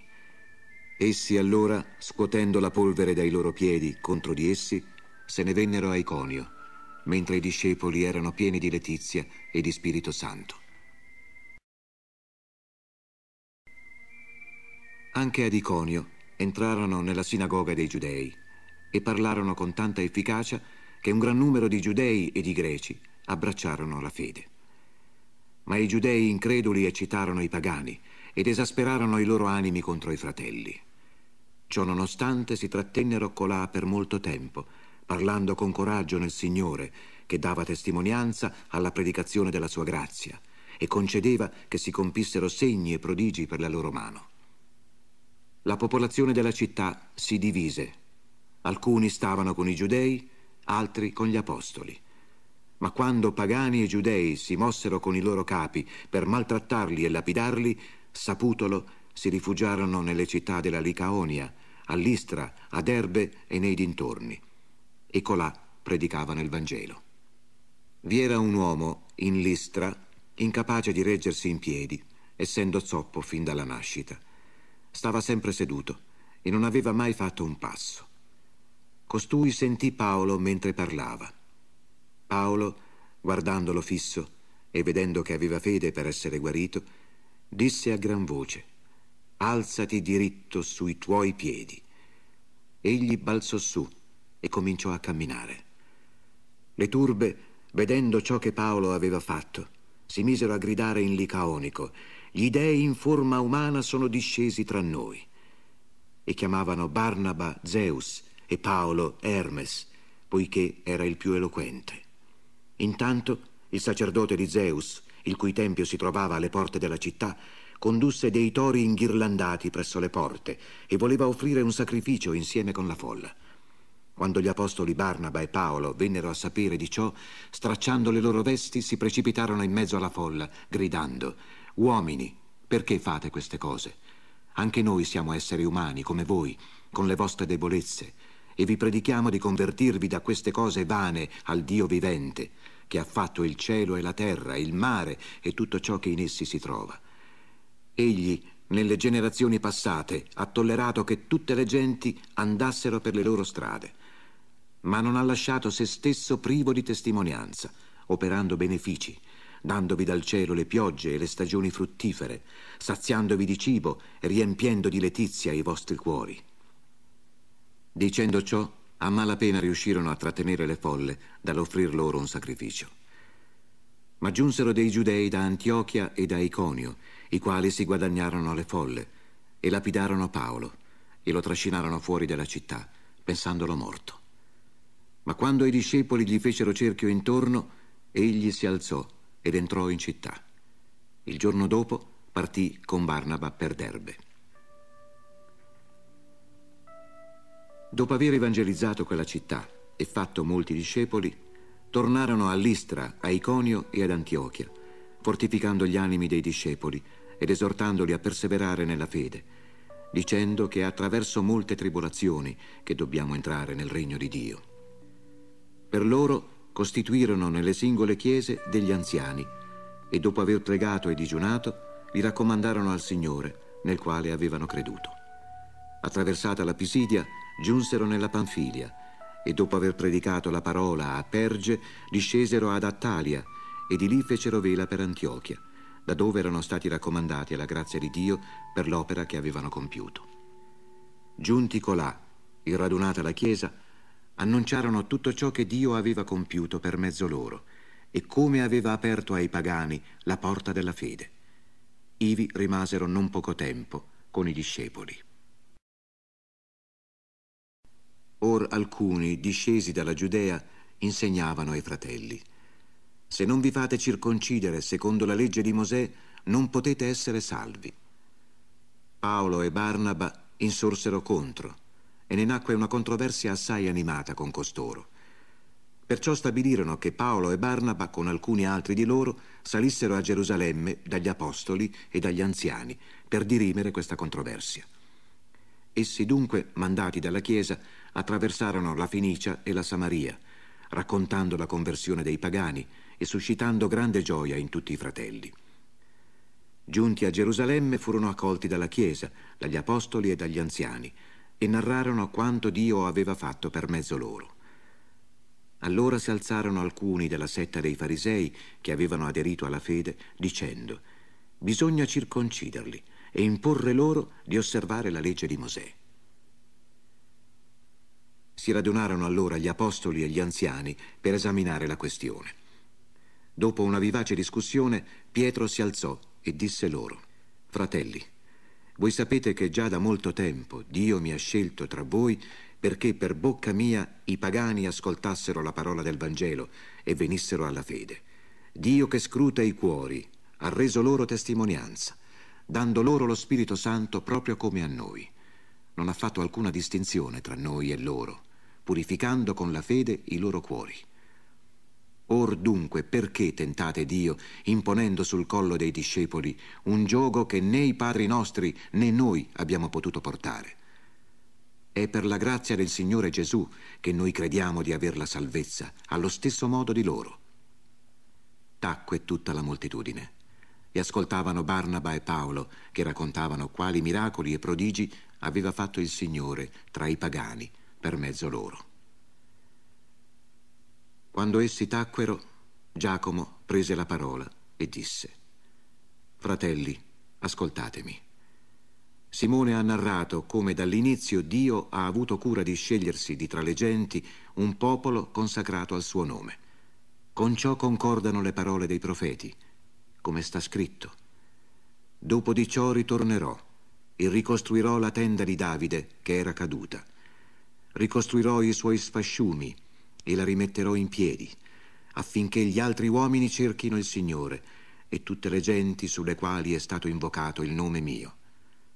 Così dice il Signore che fa queste cose, note fin dall'antichità. Perciò io ritengo che non bisogna inquietare coloro che dal paganesimo si sono convertiti a Dio, si prescriva loro di astenersi dalle contaminazioni degli idoli e dalla fornicazione, dalla carne di animali soffocati e dal sangue, perché Mosè, fin dalle antiche generazioni, ha in ogni città coloro che lo predicano nelle sinagoghe, dove viene letto ogni sabato. Allora parve bene agli apostoli e agli anziani con tutta la Chiesa di scegliere alcuni di loro e di mandarli ad Antiochia con Paolo e Barnaba, cioè Giuda, chiamato Barsabba, e Sila, uomini di primo piano tra i fratelli. Inviarono per mezzo loro questa lettera. Gli apostoli e gli anziani ai fratelli di Antiochia, di Siria e di Cilicia, che provengono dal paganesimo, salute. Poiché abbiamo sentito che alcuni di noi sono venuti a turbarvi con discorsi che hanno sconvolto i vostri animi, senza che noi avessimo dato loro alcun incarico, abbiamo ritenuto concordemente di scegliere alcuni uomini e di mandarli a voi con i nostri carissimi Barnaba e Paolo, che hanno esposto la loro vita per il nome del Signore nostro Gesù Cristo. Abbiamo mandato pertanto Giuda e Sila, ed essi a voce vi riferiranno le stesse cose. Infatti, lo Spirito Santo e noi abbiamo deciso di non imporvi altro peso eccetto queste cose necessarie, cioè di astenervi dalle vivande sacrificate agli idoli, dal sangue, dalla carne di animali soffocati e dalla fornicazione. Farete bene a guardarvi da queste cose. State bene. Questi, preso congedo, scesero ad Antiochia e, radunata la comunità, trasmisero la lettera. Dopo averla letta, si rallegrarono del contenuto confortante. Giuda e Sila, essendo anche essi profeti, con parecchi discorsi incoraggiarono i fratelli e li confermarono. Dopo essersi trattenuti un certo tempo con i fratelli, furono lasciati ritornare col saluto di pace da coloro che li avevano inviati. Paolo e Barnaba si trattennero ad Antiochia, insegnando ed annunziando, con molti altri, la parola del Signore. Dopo alcuni giorni Paolo disse a Barnaba, Torniamo a visitare i fratelli in ogni città in cui abbiamo annunziato la parola del Signore, per vedere come stanno. Barnaba voleva prendere con sé anche Giovanni, chiamato Marco, ma Paolo giudicava che non fosse opportuno portarselo dietro, perché li aveva abbandonati in Panfilia e non aveva partecipato all'opera di evangelizzazione. Vi fu un grosso litigio, così che si separarono. Barnaba prese con sé Marco e salpò alla volta di Cipro. Paolo invece scelse per compagno Sila e partì, raccomandato alla grazia del Signore dai fratelli, e attraversava la Siria e la Cilicia, confermando le chiese. Arrivò anche a Derbe e a Listra. C'era là un discepolo di nome Timoteo, figlio di una donna giudea credente, ma di padre greco, che era assai stimato dai fratelli in Listra e Iconio. Paolo voleva condurlo con sé nei suoi viaggi e, presolo con sé, lo circoncise a causa dei giudei che si trovavano in quelle regioni. Tutti infatti sapevano che suo padre era greco. Mentre viaggiavano di città in città, trasmettevano loro i decreti sanciti dagli apostoli e dagli anziani in Gerusalemme perché li osservassero. Le chiese si fortificavano nella fede e crescevano di numero ogni giorno. Passarono poi per la Frigia e la regione della Galazia, impediti dallo Spirito Santo di annunciare la parola nell'Asia. Giunti ai confini della Misia, tentavano di recarsi in Bitinia, ma lo Spirito di Gesù non lo permise loro. Allora, oltrepassata la Misia, discesero a Troade. Durante la notte Paolo ebbe una visione. Un macedone in piedi lo supplicava dicendo «Passa in Macedonia e aiutaci». Subito dopo la visione cercammo di partire per la Macedonia, certi che Dio ci aveva chiamati per annunciare loro il Vangelo. Salpati da Troade, ci dirigemmo verso Samotracia e il giorno seguente a Neapoli. Di là ci recammo a Filippi, che è la prima città del distretto di Macedonia ed è colonia. In questa città facemmo una sosta di parecchi giorni. Il sabato uscimmo fuori dalla porta, presso un fiume dove pensavamo che si facesse la preghiera. Ci mettemmo a sedere e parlammo alle donne che vi erano radunate. Una donna di nome Lidia, venditrice di porpora della città di Tiatira, che onorava Dio, stava in ascolto. Il Signore le aprì il cuore perché potesse comprendere le cose dette da Paolo. Dopo essere stata battezzata con tutta la famiglia, ci invitò con queste parole. Se mi giudicate fedele al Signore, venite a stare nella mia casa. E ci costrinse ad accettare. Or mentre ci recavamo alla preghiera, ci venne incontro una schiava che aveva uno spirito divinatorio, la quale procurava un forte guadagno ai suoi padroni pronunciando oracoli. Costei si mise a seguire Paolo e noi e ci gridava dietro, questi uomini sono i servi del Dio Altissimo che vi annunciano la via della salvezza. La cosa si ripeté per molti giorni. Paolo, infine, seccato, rivoltosi allo Spirito, disse, Ti comando in nome di Gesù Cristo di uscire da lei. In quello stesso momento lo Spirito se ne uscì. I padroni, vedendo che la speranza del loro guadagno era svanita, presero Paolo e Sila e li trascinarono nella piazza del mercato, davanti alle autorità. Li presentarono ai magistrati e dissero questi uomini mettono a soqquadro la nostra città. Sono giudei e predicano usanze che non possiamo accogliere né praticare, poiché siamo romani. Allora la folla insorse contro di loro e i magistrati, fatti strappare loro di dosso i vestiti, comandarono che fossero bastonati. Dopo averli caricati di percosse, li gettarono nella prigione, ordinando al custode di custodirli con grande cautela. Egli a seguito di tale ordine li gettò nella parte più interna della prigione e assicurò i piedi loro ai ceppi. Verso la mezzanotte Paolo e Sila stavano pregando e cantando inni a Dio e gli altri prigionieri li ascoltavano. Ed ecco che improvvisamente vi fu un terremoto così violento da scuotere le fondamenta del carcere. Si apersero di colpo tutte le porte e si sciolsero le catene di tutti i carcerati. Il custode della prigione, svegliatosi e viste aperte le porte della prigione, tratta fuori la spada, stava per uccidersi, pensando che i prigionieri fossero fuggiti. Ma Paolo gridò a gran voce, non farti del male, poiché siamo tutti qui. Allora chiese un lume, balzò dentro e tutto tremante cadde ai piedi di Paolo e di Sila. Poi li condusse fuori e disse, Signore, che cosa debbo fare per salvarmi? Essi risposero, credi nel Signore Gesù e sarai salvo tu e la tua famiglia. E annunciarono la parola del Signore a lui e a tutti quelli della sua casa. Egli, a quell'ora della notte, li prese con sé, lavò loro le piaghe e subito fu battezzato, lui e tutti i suoi. Poi li condusse a casa sua apparecchiò loro la tavola e si rallegrò con tutta la sua famiglia perché aveva creduto in Dio. Fattosi giorno, i magistrati mandarono i littori a dire lascia andare liberi quegli uomini. Il custode della prigione riferì queste parole a Paolo. I magistrati hanno mandato a dire di rilasciarvi. Ora dunque uscite e andate in pace. Ma Paolo disse alle guardie ci hanno bastonati pubblicamente e senza processo, noi che siamo cittadini romani, e ci hanno gettato in prigione. Ed ora di nascosto ci cacciano via? Così no.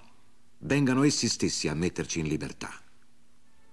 I lettori riferirono queste parole ai magistrati ed essi si spaventarono, udendo che si trattava di cittadini romani, e vennero a fare le loro scuse.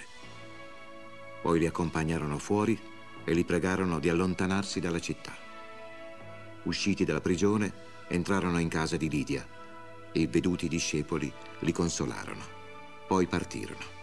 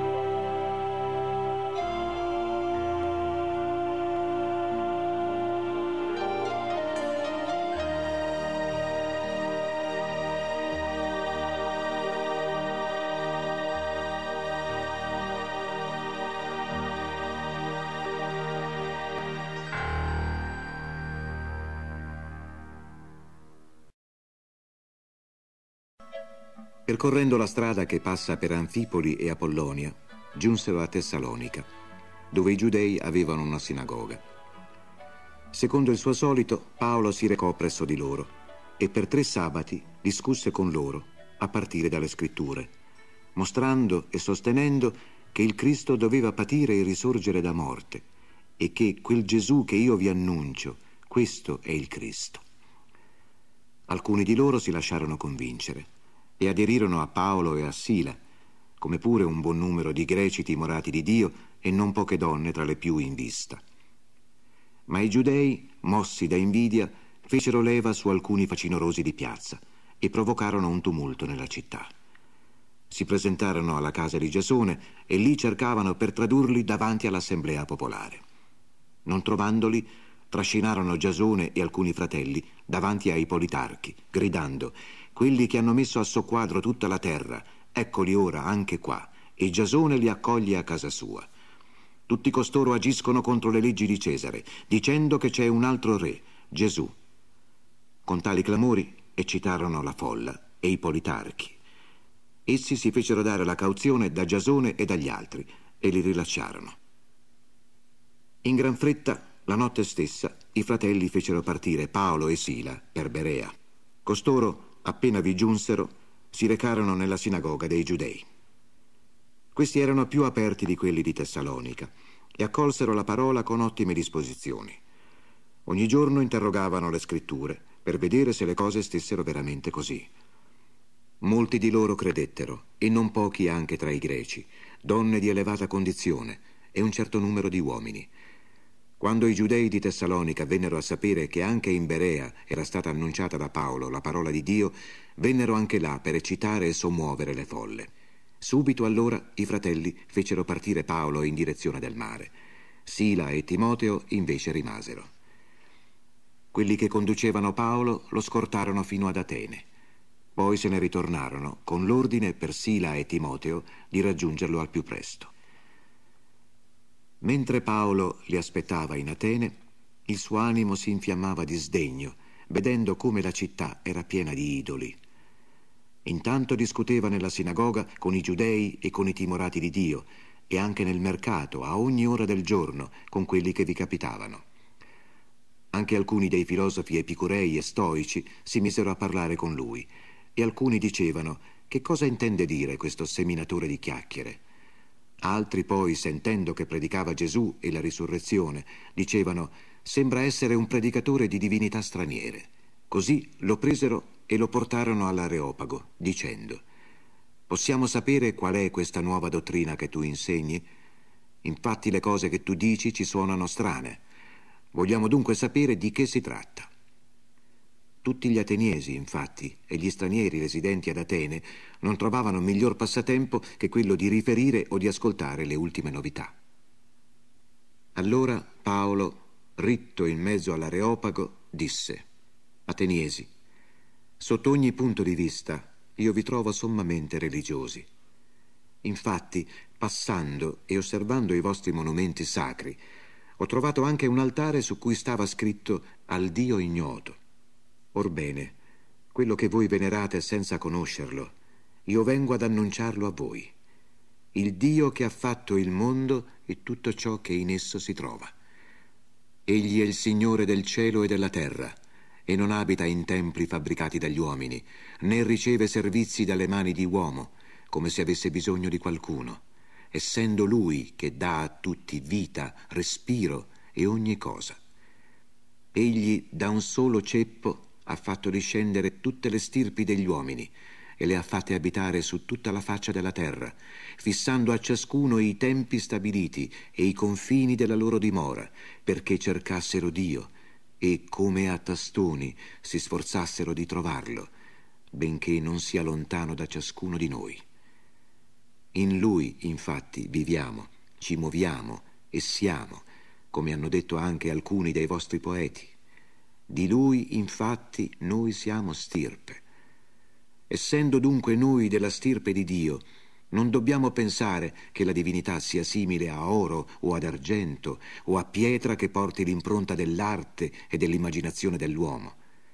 Ma ora, passando sopra ai tempi dell'ignoranza, Dio fa sapere agli uomini che tutti e dappertutto si convertano, poiché Egli ha stabilito un giorno nel quale sta per giudicare il mondo con giustizia, per mezzo di un uomo che Egli ha designato, accreditandolo di fronte a tutti col risuscitarlo da morte. Quando sentirono parlare di risurrezione dei morti, alcuni lo canzonarono, altri dicevano su questo argomento ti sentiremo ancora un'altra volta. Così Paolo se ne uscì di mezzo a loro. Ma alcuni uomini aderirono a lui e abbracciarono la fede. Tra essi c'era anche Dionigi l'Areopagita, una donna di nome Damaris ed altri con loro. Dopo di ciò, Paolo partì da Atene e venne a Corinto, dove trovò un giudeo di nome Aquila, nativo del Ponto, appena giunto dall'Italia con sua moglie Priscilla, perché Claudio aveva ordinato che tutti i giudei se ne andassero da Roma. Paolo si recò da essi e poiché era dello stesso mestiere, rimase ad alloggiare presso di loro e lavorava. Infatti erano fabbricanti di tende. Ogni sabato poi parlava nella sinagoga e cercava di persuadere i giudei e i greci. Quando poi Sila e Timoteo giunsero dalla Macedonia, Paolo si diede tutto alla predicazione, attestando ai giudei che Gesù era il Cristo. Ma resistendo essi e lanciando bestemmie, egli scosse la polvere dalle vesti, dicendo loro, Il vostro sangue cadrà sul vostro capo, io non ne ho colpa. Da questo momento andrò dai pagani. E di là si trasferì presso un certo tizio giusto che onorava Dio, la cui casa era contigua alla sinagoga. Crispo, capo della sinagoga, credette al Signore con tutta la sua casa, e molti dei corinzi che avevano ascoltato Paolo credevano e si facevano battezzare. Il Signore una notte disse in visione a Paolo, Non temere, ma continua a parlare e non tacere, perché io sono con te, e nessuno metterà le mani su di te per farti del male poiché c'è per me un popolo numeroso in questa città. Così Paolo rimase per un anno e sei mesi, insegnando in mezzo ad essi la parola di Dio. Mentre Gallione era proconsole della Caia, i giudei si mossero unanimi contro Paolo e lo condussero davanti al tribunale, dicendo Costui induce la gente a onorare Dio in modo contrario alla legge. Paolo stava per aprire la bocca, ma Gallione disse ai giudei, se si trattasse di un delitto o di un'azione malvagia, o giudei, vi ascolterei pazientemente, come è giusto. Ma se si tratta di questioni di dottrina e di nomi e della vostra legge, vedetevela voi. Io non voglio essere giudice di queste cose. E li mandò via dal tribunale. Allora tutti afferrarono Sostene, capo della sinagoga, e lo percossero davanti al tribunale. Ma Gallione non se ne preoccupava affatto.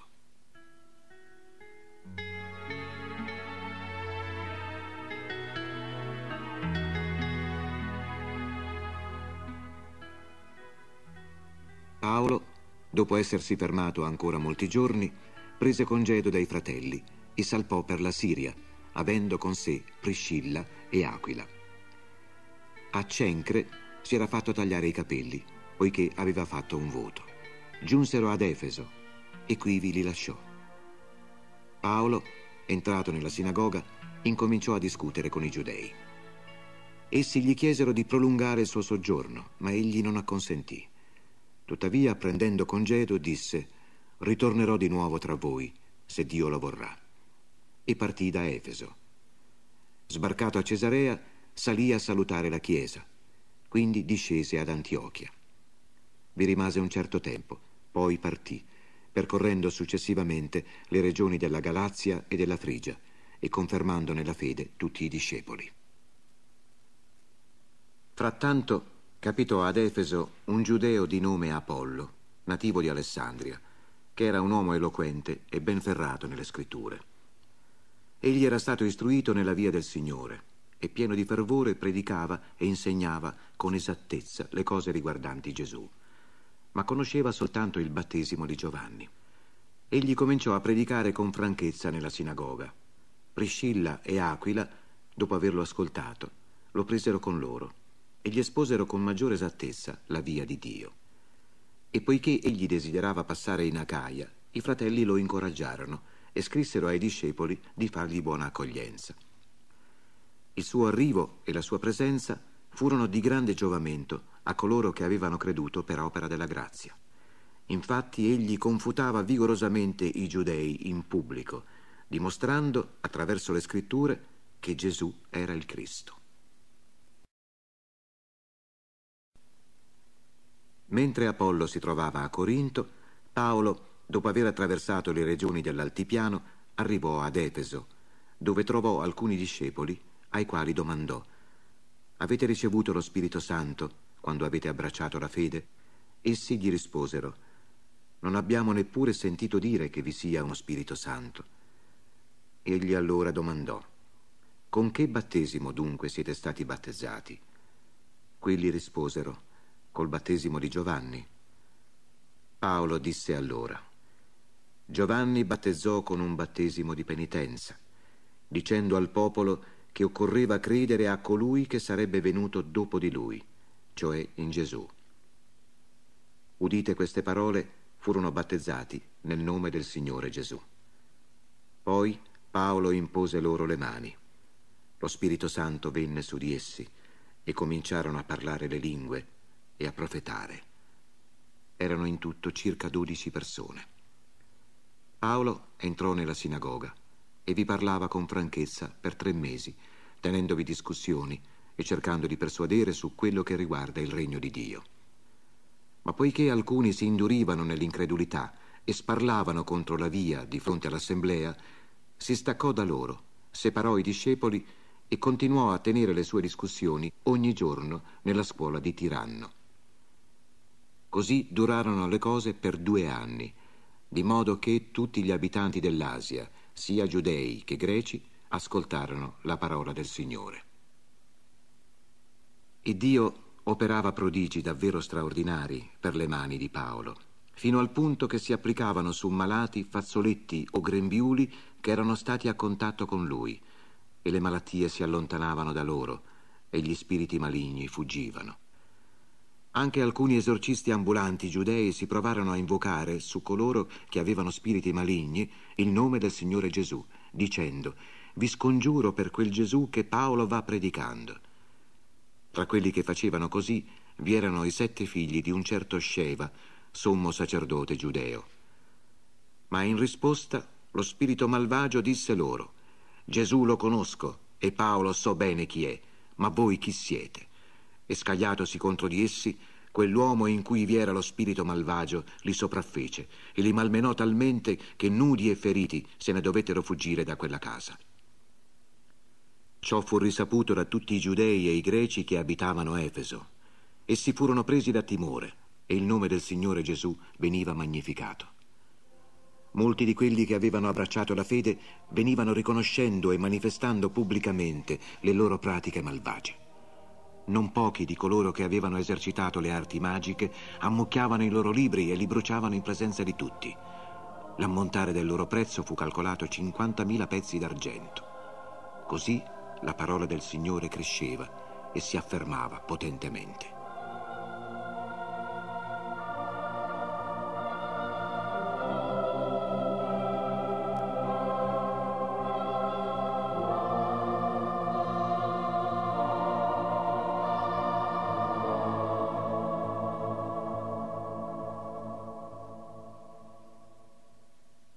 Dopo questi fatti, Paolo si pose in animo di andare a Gerusalemme passando per la Macedonia e per l'Acaia, e diceva, dopo essere stato là, devo vedere anche Roma. Così inviò in Macedonia due dei suoi collaboratori, Timoteo ed Erasto. Egli rimase ancora un po' di tempo in Asia. Fu verso quel tempo che successe un tumulto assai grave a proposito della via. C'era infatti un argentiere di nome Demetrio che faceva dei tempietti di Diana in argento e procurava agli artigiani non piccoli guadagni. Egli radunò costoro insieme con quanti lavoravano intorno a oggetti del genere e disse Amici, voi sapete che il nostro benessere dipende da questa industria. Ora voi vedete e sentite che non soltanto in Efeso, ma in quasi tutta l'Asia, questo Paolo, con i suoi ragionamenti, ha traviato moltissima gente, dicendo che non sono dei quelli che escono dalla mano dell'uomo.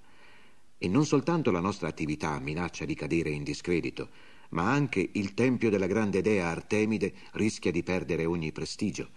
E colei che è onorata da tutta l'Asia e il mondo intero finirà per essere spogliata di tutta la sua grandezza.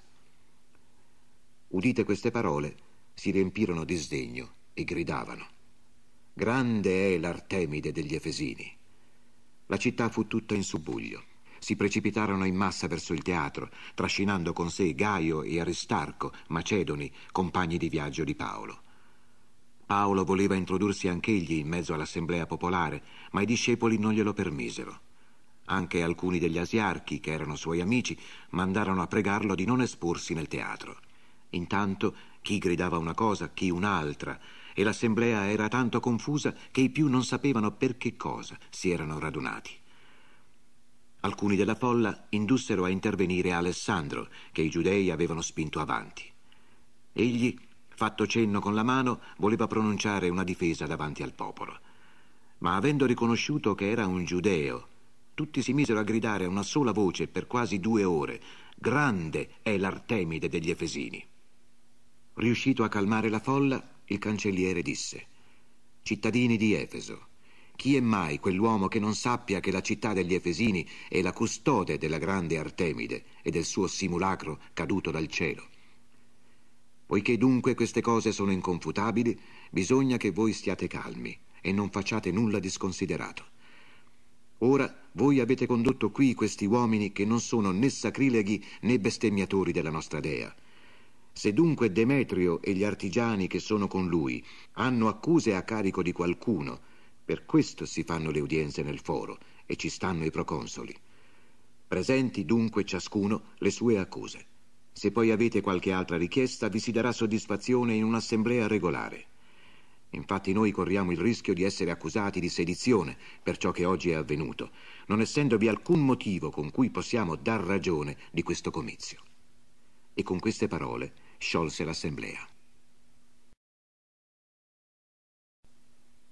Dopo che fu cessato il tumulto, Paolo fece chiamare i discepoli.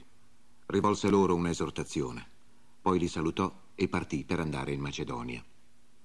Percorse quella regione facendo molti discorsi di esortazione e giunse in Grecia. Passati tre mesi ci fu un complotto da parte dei giudei mentre stava per imbarcarsi per la Siria che lo decise a ritornare passando per la Macedonia. Lo accompagnarono fino in Asia Sopatro, figlio di Pirro, di Berea, Aristarco e Secondo di Tessalonica, Gaio di Derbe e Timoteo, Tichico e Trofimo, oriundi dell'Asia. Costoro ci precedettero e ci aspettarono a Troade. Noi invece facemmo vela da Filippi dopo i giorni degli Azimi e arrivammo presso di loro a Troade in cinque giorni e là rimanemmo sette giorni. Il primo giorno della settimana eravamo radunati per spezzare il pane. Paolo, che doveva partire il giorno dopo, discorreva con essi e prolungò il discorso fino a mezzanotte. Vi erano molte lampade al piano superiore dove eravamo radunati. Ora un ragazzo di nome Eutico, che se ne stava seduto sulla finestra, mentre Paolo continuava a parlare senza sosta, venne preso da una profonda sonnolenza e alla fine, vinto dal sonno, cadde dal terzo piano in terra e fu raccolto morto. Allora Paolo scese, si buttò su di lui e abbracciandolo disse Non turbatevi, perché la sua anima è in lui. Poi risalì, spezzò il pane e ne mangiò, e dopo aver parlato ancora a lungo fino all'alba, partì. Intanto ricondussero il ragazzo vivo e ne provarono una indicibile consolazione. Noi intanto, che già c'eravamo imbarcati, facemmo vela alla volta di Asso, dove avremmo dovuto riprendere Paolo. Così infatti ci aveva ordinato, volendo egli fare il viaggio a piedi. Quando ci raggiunse ad Asso, lo prendemmo a bordo con noi e arrivammo a Mitilene.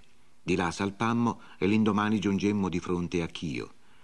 Il giorno dopo costeggiammo Samo e il seguente fummo a Mileto. Paolo, infatti, aveva ritenuto opportuno navigare al largo di Efeso perché non gli capitasse di doversi attardare in Asia. voleva affrettarsi per trovarsi, se possibile, nel giorno di Pentecoste, a Gerusalemme. Da Mileto mandò ad Efeso a chiamare gli anziani della Chiesa. Quando giunsero presso di lui, disse loro, Voi sapete come, fin dal primo giorno in cui io arrivai nella provincia di Asia, mi sono sempre comportato con voi, servendo il Signore in ogni genere di umiliazione, nelle lacrime e tra le prove che le insidie dei giudei mi hanno procurato. Non v'è nulla che vi potesse giovare che io abbia trascurato di predicare e insegnarvi in pubblico e nelle case. Ho scongiurato giudei e greci di convertirsi a Dio e di credere nel Signore nostro Gesù. Ora ecco che, avvinto dallo Spirito, sto andando a Gerusalemme, non sapendo ciò che colà mi potrà succedere. Soltanto so che lo Spirito Santo di città in città mi avverte che mi attendono catene e tribolazioni. Ma non do alcun valore alla mia vita, purché io termini la mia corsa e il ministero che ho ricevuto dal Signore Gesù di rendere testimonianza al Vangelo della grazia di Dio. Ora, ecco, io so che voi non vedrete più il mio volto, voi tutti tra i quali io sono passato, annunciando il regno. Perciò io vi attesto oggi che se qualcuno si perdesse, la responsabilità non cadrà su di me. Mai, infatti, io mi sono sottratto dall'annunciarvi tutta intera la volontà di Dio. Vegliate quindi su di voi stessi e su tutto il gregge in mezzo al quale lo Spirito Santo vi ha stabiliti come sorveglianti per pascere la Chiesa di Dio, che si è acquistata con il sangue del suo proprio Figlio. Io so che dopo la mia partenza si introdurranno in mezzo a voi lupi rapaci che non risparmieranno il gregge. Tra voi stessi sorgeranno individui che terranno discorsi perversi per trascinare discepoli dietro a loro. Perciò vegliate, ricordandovi che per tre anni, notte e giorno, non ho cessato di ammonire, piangendo, ciascuno di voi. Ora io vi affido a Dio e alla parola della sua grazia, che può edificare e dare l'eredità con tutti i santificati. Io non ho mai desiderato argento, oro o vesti di nessuno. Voi sapete che alle mie necessità e a quelle di coloro che erano con me hanno provveduto queste mie mani. In ogni occasione io vi ho dimostrato che è così, lavorando, che occorre prendersi cura dei deboli, ricordandosi della parola del Signore Gesù che disse c'è più felicità a dare che a ricevere. Dette queste cose, inginocchiatosi con tutti loro, pregò. Tutti allora scoppiarono in pianto e gettandosi al collo di Paolo lo coprivano di baci, afflitti soprattutto per la parola che aveva detto, che non avrebbero più riveduto il suo volto. Poi lo accompagnarono fino alla nave.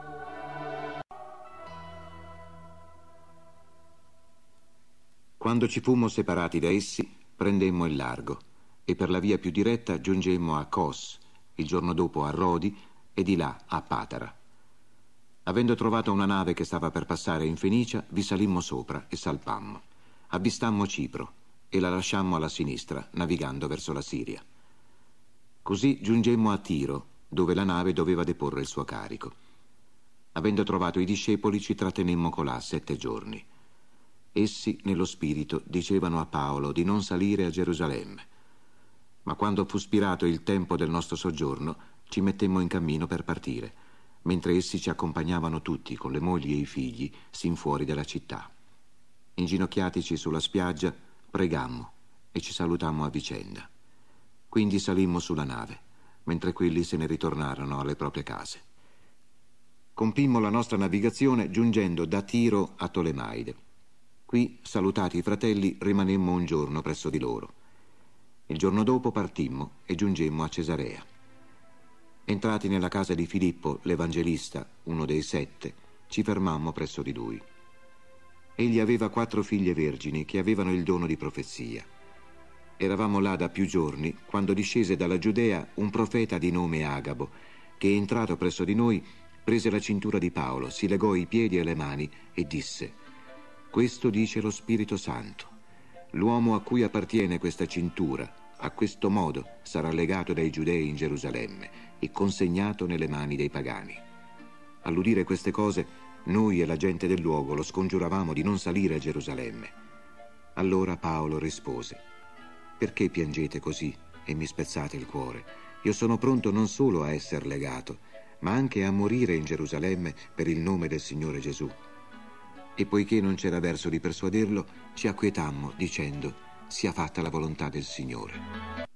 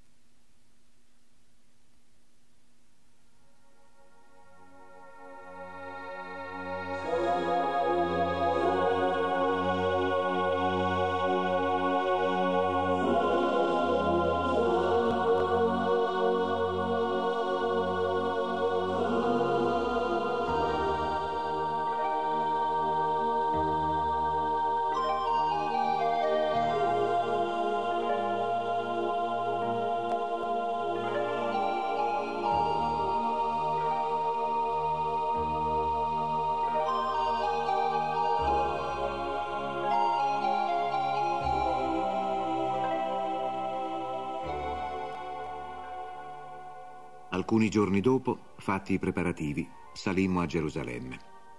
Vennero con noi anche alcuni dei discepoli da Cesarea e ci condussero ad alloggiare presso un certo Mnasone di Cipro, un antico discepolo. Al nostro arrivo a Gerusalemme i fratelli ci accolsero con gioia. Il giorno dopo Paolo venne con noi da Giacomo e vi convennero pure tutti gli anziani. Dopo averli salutati, incominciava a raccontare per filo e per segno ciò che Dio aveva operato tra i pagani per mezzo del suo ministero. Essi, sentendolo, glorificavano Dio. Poi gli dissero, Vedi, o oh fratello, quante migliaia di giudei hanno abbracciato la fede, e tutti sono zelanti osservatori della legge. Ora essi hanno ripetutamente sentito dire a tuo riguardo che tu insegni a tutti i giudei che sono tra i pagani a distaccarsi da Mosè, dicendo loro di non circoncidere più i loro figli e di non comportarsi secondo gli usi tradizionali. Che fare dunque? Senza dubbio verranno a sapere che tu sei arrivato. Fa dunque ciò che noi ti diciamo. Abbiamo qui quattro uomini che hanno un voto da sciogliere. Tu prendili con te, fa le purificazioni insieme ad essi e paga le spese per essi affinché possano radersi il capo. Tutti sapranno così che le voci che hanno udito a tuo riguardo non sono vere, ma che anche tu cammini nell'osservanza della legge. Quanto poi ai pagani che hanno abbracciato la fede, noi abbiamo inviato lettere con la decisione che si dovessero astenere dalle carni immolate agli idoli, dal sangue, dalla carne di animali soffocati e dalla fornicazione. Allora Paolo prese con sé quegli uomini il giorno seguente si purificò insieme con essi ed entrò nel Tempio per notificare il termine dei giorni della purificazione, quando sarebbe stato offerto il sacrificio per ciascuno di essi. I sette giorni stavano per compiersi, quando i giudei dell'Asia, avendolo visto nel Tempio, misero in subbuglio tutta la folla e posero le mani su di lui, gridando Israeliti, aiuto! Questo è l'uomo che predica a tutti e dappertutto contro il popolo, contro la legge e contro questo santo luogo. Ora ha introdotto persino dei greci nel Tempio e ha profanato questo luogo santo. Infatti avevano visto in precedenza nella città Trofimo di Efeso insieme con lui e pensavano che Paolo l'avesse introdotto nel Tempio. Tutta la città ne fu scossa e vi fu un accorrere di popolo. Impadronitisi di Paolo, lo trascinarono fuori del recinto del Tempio e subito furono chiuse le porte. Mentre essi cercavano di ucciderlo, giunse la notizia al tribuno della coorte che tutta Gerusalemme era in subuglio. Egli immediatamente prese dei soldati e dei centurioni e scese di corsa verso di loro. Questi, visto il tribuno e i soldati, cessarono di percuotere Paolo. Allora il tribuno, avvicinatosi, lo arrestò e comandò che fosse legato con due catene. Poi domandò chi fosse e che cosa aveva fatto. Ma tra la folla chi gridava una cosa, chi un'altra. Non riuscendo egli per il tumulto a capire con certezza di che si trattava, comandò che fosse condotto nella caserma. Quando fu sui gradini, dovette essere portato di peso dai soldati per la violenza della folla. Infatti la moltitudine del popolo gli andava dietro gridando Ammazzalo! Mentre stava per essere condotto dentro la caserma, Paolo disse al tribuno Mi è lecito dirti una cosa? Quegli rispose Sai il greco? Non sei dunque tu l'egiziano che giorni fa ha provocato una sommossa e ha condotto nel deserto quattromila sicari? Paolo disse Io sono un giudeo, cittadino di Tarso in Cilicia, città non senza importanza. Ora ti prego, permettimi di parlare al popolo. Ottenuto il permesso, Paolo, stando sui gradini, fece cenno con la mano al popolo e fattosi un gran silenzio, parlò in lingua ebraica, dicendo Fratelli e padri, ascoltate quanto ora io vi espongo in mia difesa. Udendo che parlava loro in ebraico, il silenzio si fece ancora più grande. Egli continuò. Io sono un giudeo, nato a Tarso, in Cilicia, ma educato in questa città, istruito ai piedi di Gamaliele, nella rigorosa osservanza della legge dei padri, pieno di zelo per Dio, come lo siete voi tutti oggi. Io ho perseguitato a morte questa via, mettendo in catene e gettando in prigione uomini e donne, come me ne fa testimonianza anche il sommo sacerdote e tutto il consiglio degli anziani. Da essi avevo anzi ricevuto lettere per i fratelli di Damasco e stavo andandovi per condurre incatenati a Gerusalemme anche quelli che si trovavano là, perché vi fossero puniti. Or mentre io ero in viaggio e mi stavo avvicinando a Damasco, verso mezzogiorno, all'improvviso, una gran luce venuta dal cielo mi sfolgorò tutt'intorno.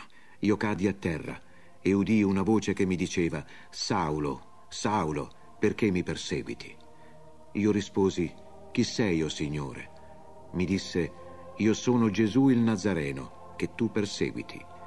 Quelli che mi accompagnavano videro la luce, ma non udirono la voce di colui che mi parlava. Io ripresi, che debbo fare, Signore? Il Signore mi disse, alzati, va a Damasco, e là ti sarà detto tutto ciò che è stabilito che tu faccia. Ma poiché non potevo più vedere per lo splendore di quella luce, Fui condotto per mano dai miei compagni di viaggio e giunsi a Damasco. Un certo Anania, uomo devoto e osservante della legge, stimato da tutti i giudei che abitavano colà, venne a trovarmi e standomi accanto mi disse Saulo, fratello, torna a vedere. E io, nella stessa ora, riuscii a vederlo. Egli disse Il Dio dei nostri padri ti ha predestinato a conoscere la sua volontà, a vedere il giusto e a udire una parola dalla sua bocca, poiché tu renderai testimonianza a suo favore presso tutti gli uomini di ciò che hai visto e udito. Ed ora che cosa aspetti? Alzati, ricevi il battesimo e purificati dai tuoi peccati, invocando il suo nome. Tornato a Gerusalemme, mentre stavo pregando nel Tempio, fui rapito in estasi e vidi lui che mi diceva, presto, affrettati ad uscire da Gerusalemme, perché non accetteranno la tua testimonianza riguardo a me. Io replicai, Signore, costoro sanno che io mettevo in prigione e percuotevo di sinagoga in sinagoga quelli che credevano in te. E quando si versava il sangue di Stefano, tuo testimone, anch'io ero là presente ed ero d'accordo con coloro che lo uccidevano e ne custodivo le vesti. Ma egli mi disse, va, perché io ti manderò lontano tra i pagani. Fino a queste parole lo avevano ascoltato. Ma qui cominciarono a gridare, via dal mondo costui, non ha il diritto di vivere. Gridavano, si strappavano le vesti e gettavano polvere in aria. Allora il tribuno fece condurre Paolo nella caserma, ordinando di interrogarlo ricorrendo alla flagellazione, per sapere per quale motivo gli gridassero contro a quel modo. Ma quando l'ebbero legato con le cinghie, Paolo disse al centurione presente, Vi è lecito flagellare un cittadino romano e per di più non ancora giudicato? Udito ciò, il centurione si avvicinò al tribuno per avvertirlo, dicendo, Che cosa stai per fare? Quest'uomo è romano. Allora, avvicinatosi, il tribuno gli disse, Dimmi, tu sei romano? Egli rispose, Sì. Io, riprese il tribuno, Ho acquistato questa cittadinanza a caro prezzo. E Paolo, io invece vi sono nato. Subito si allontanarono da lui quelli che stavano per interrogarlo. Anche il tribuno si intimorì, avendo saputo che era romano, poiché lo aveva fatto legare. Il giorno dopo, volendo sapere con certezza di che cosa i giudei lo accusavano, gli tolse le catene e ordinò che si radunassero i sommi sacerdoti e tutto il sinedrio. Poi fece condurre Paolo e lo presentò a loro. Con lo sguardo fisso al Sinedrio, Paolo disse, Fratelli, io mi sono comportato davanti a Dio in perfetta buona coscienza fino a questo giorno. Ma il sommo sacerdote Anania diede ordine agli assistenti di percuoterlo sulla bocca. Allora Paolo gli disse, Dio sta per percuotere te, muro imbiancato. Tu sei assiso per giudicarmi secondo la legge e violi la legge ordinando di percuotermi. Ma gli assistenti dissero, Tu insulti il sommo sacerdote di Dio? Paolo rispose, Non sapevo, fratelli, che è sommo sacerdote. È scritto infatti, Non parlerai male di un capo del tuo popolo. Paolo sapeva che una parte dell'assemblea era composta di sadducei e un'altra di farisei, e gridò nel sinedrio, Fratelli, io sono fariseo, figlio di farisei. Io sono sotto giudizio a motivo della speranza nella risurrezione dei morti. Appena dette queste parole scoppiò un tafferuglio tra farisei e sadducei e l'assemblea si divise. I sadducei infatti dicono che non c'è risurrezione né angelo né spirito, mentre i farisei ammettono tutte queste cose. Vi fu un gran gridare. Alcuni scribi del partito dei farisei si alzarono a battagliare dicendo Non troviamo alcun male in quest'uomo e se uno spirito gli avesse parlato, oppure un angelo. Aggravandosi il tumulto, il tribuno, temendo che Paolo fosse da quelli fatto a pezzi, comandò alla truppa di scendere e portarlo via di mezzo a loro e ricondurlo in caserma. La notte seguente il Signore gli si avvicinò e gli disse Coraggio, come hai reso testimonianza alla mia causa in Gerusalemme, così devi testimoniare anche a Roma. Fattosi giorno, i giudei fecero una congiura e si obbligarono con giuramento a non mangiare né bere fino a che non avessero ucciso Paolo. Erano più di quaranta quelli che avevano fatto questa congiura.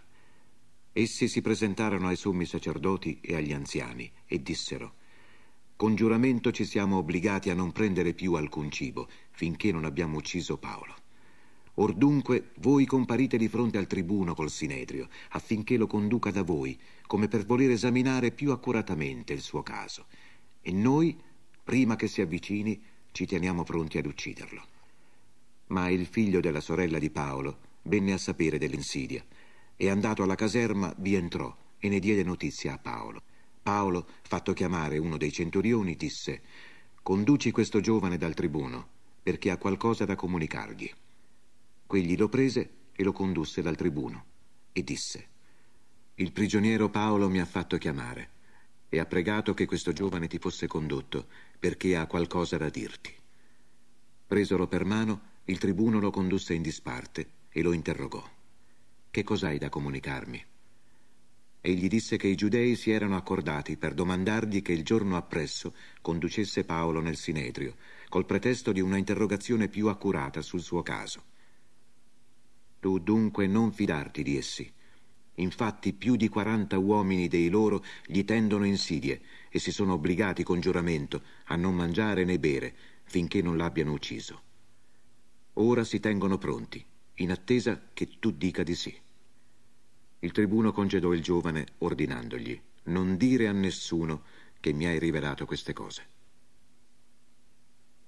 Chiamati poi due dei centurioni, disse Preparatemi duecento soldati, perché vadano fino a Cesarea, e settanta cavalieri e duecento lancieri, pronti a partire tre ore dopo il tramonto. Preparate anche delle cavalcature per farvi salire Paolo e condurlo in salvo presso il governatore Felice. Scrisse anche una lettera di questo tenore. Claudio Lisia, a Sua Eccellenza il governatore Felice, salute. Quest'uomo era stato preso dai giudei Stavano per ucciderlo quando sopraggiunsi con la truppa e lo liberai, avendo saputo che era cittadino romano. Volendo poi sapere la ragione per cui lo accusavano, lo condussi nel loro sinedrio e vidi che lo accusavano per questioni controverse della loro legge, ma che non c'era alcuna imputazione a suo carico che comportasse la morte o le catene. Essendo poi stato avvertito che si stava tramando una congiura contro quest'uomo, subito te l'ho mandato, facendo insieme sapere agli accusatori di deporre contro di lui davanti a te. Sta bene. I soldati, secondo l'ordine ricevuto, presero in consegna Paolo e lo condussero di notte ad Antipatride. Il giorno dopo se ne ritornarono alla caserma, lasciando che i cavalieri proseguissero con lui. Entrati a Cesarea, consegnarono la lettera al governatore e gli presentarono Paolo. Avendola letta, lo interrogò di quale provincia fosse. Saputo che era della Cilicia, gli disse Ti ascolterò quando saranno giunti anche i tuoi accusatori. E ordinò che fosse custodito nel pretorio di Erode. Cinque giorni dopo arrivò il sommo sacerdote Anania con alcuni anziani e un avvocato, un certo Tertullo, i quali si costituirono davanti al governatore come accusatori di Paolo. Paolo fu chiamato e Tertullo cominciò la sua accusa dicendo Avendo la fortuna, per merito tuo, di godere di grande pace e fruendo questo popolo di vantaggiose riforme, grazie alla tua preveggenza, in tutto e per tutto noi te ne rendiamo lode, o eccellentissimo Felice, con ogni gratitudine. Ma per non importunarti più a lungo, ti prego di volerci ascoltare brevemente con quella benevolenza che ti distingue. Abbiamo trovato questa peste d'uomo che provoca sedizioni fra tutti i giudei del mondo intero ed è un capo della setta dei Nazorei, il quale ha perfino tentato di profanare il Tempio e l'abbiamo arrestato. Tu stesso, interrogandolo su tutte queste cose, potrai venire a sapere da lui la verità su ciò di cui lo accusiamo. Anche i giudei si univano a lui nell'accusa, sostenendo che le cose stavano proprio così. Paolo, dopo che il governatore gli fece cenno di parlare, rispose Sapendo che da molti anni tu sei giudice di questo popolo, di buon animo io mi accingo a difendere la mia causa. Tu ti puoi assicurare che non è più di dodici giorni che io sono salito a Gerusalemme per fare adorazione non mi hanno trovato né nel tempio in disputa con alcuno o a provocare subbuglio tra la folla, né dentro le sinagoghe, né per la città. Non ti possono portare le prove di ciò di cui ora mi accusano. Anzi, ti confesso che io servo al Dio dei miei padri, secondo la via che essi chiamano setta, credendo a tutto ciò che è conforme alla legge e che è scritto nei profeti. Ho in Dio speranza che anch'essi condividono, che vi sarà una risurrezione dei giusti e degli iniqui. Perciò anch'io procuro di mantenere una coscienza irreprensibile davanti a Dio e davanti agli uomini, in ogni occasione. Dopo molti anni, io ora me ne sono venuto allo scopo di portare elemosine al mio popolo e di offrire sacrifici. Così mi hanno trovato nel Tempio purificato, al di fuori di ogni assembramento o tumulto. Furono alcuni giudei dell'Asia a trovarmi, quelli che avrebbero dovuto ora presentarsi qui ad accusare se avessero qualcosa contro di me. O questi stessi dicano se hanno trovato qualche cosa di riprovevole quando stavo davanti al Sinedrio, se non questa sola parola che io ho gridato stando in mezzo a loro. È a motivo della risurrezione dei morti che io sono oggi in giudizio di fronte a voi. Allora, felice, che era perfettamente informato sulle cose riguardanti la via, li rinviò dicendo Quando verrà giù il tribuno Lisia, esaminerò il vostro caso. E comandò al centurione di tenere Paolo prigioniero, ma di lasciargli una certa libertà e di non impedire ad alcuno dei suoi di rendergli servizio. Alcuni giorni dopo, Felice venne con Drusilla, sua moglie, che era giudea, fece chiamare Paolo e lo ascoltò parlare della fede nel Cristo Gesù. Ma quando si mise a parlare di giustizia, di continenza e del giudizio futuro, Felice, spaventato, disse Per ora puoi andare, quando avrò un'occasione ti richiamerò. Sperava persino che avrebbe potuto avere del denaro da Paolo, perciò spesso lo faceva chiamare per intrattenersi con lui. Ma trascorsi due anni, Felice ebbe come successore Porcio Festo, e volendo far cosa gradita ai giudei, felice lasciò Paolo in prigione.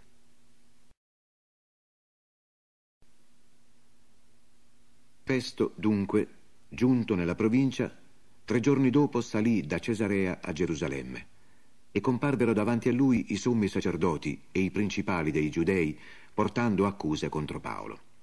Lo pregavano chiedendogli il favore, in odio a Paolo, che lo facesse trasportare a Gerusalemme per tendergli un agguato e ucciderlo durante il percorso. Festo rispose che Paolo era in prigione a Cesarea e che egli stesso sarebbe partito tra poco. Quelli dunque tra voi, disse, che hanno autorità, scendano con me, e se c'è in quell'uomo qualche colpa, depongano contro di lui. Dopo essersi fermato tra loro non più di otto o dieci giorni, scese a Cesarea e il giorno dopo sedette in tribunale e comandò che gli fosse portato Paolo.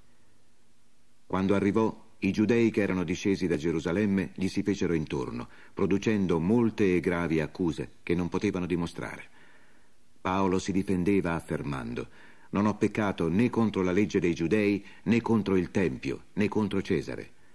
Allora Festo, volendo far cosa gradita ai giudei, rivoltosi a Paolo, gli domandò Vuoi salire in Gerusalemme e là essere giudicato di fronte a me riguardo a queste cose?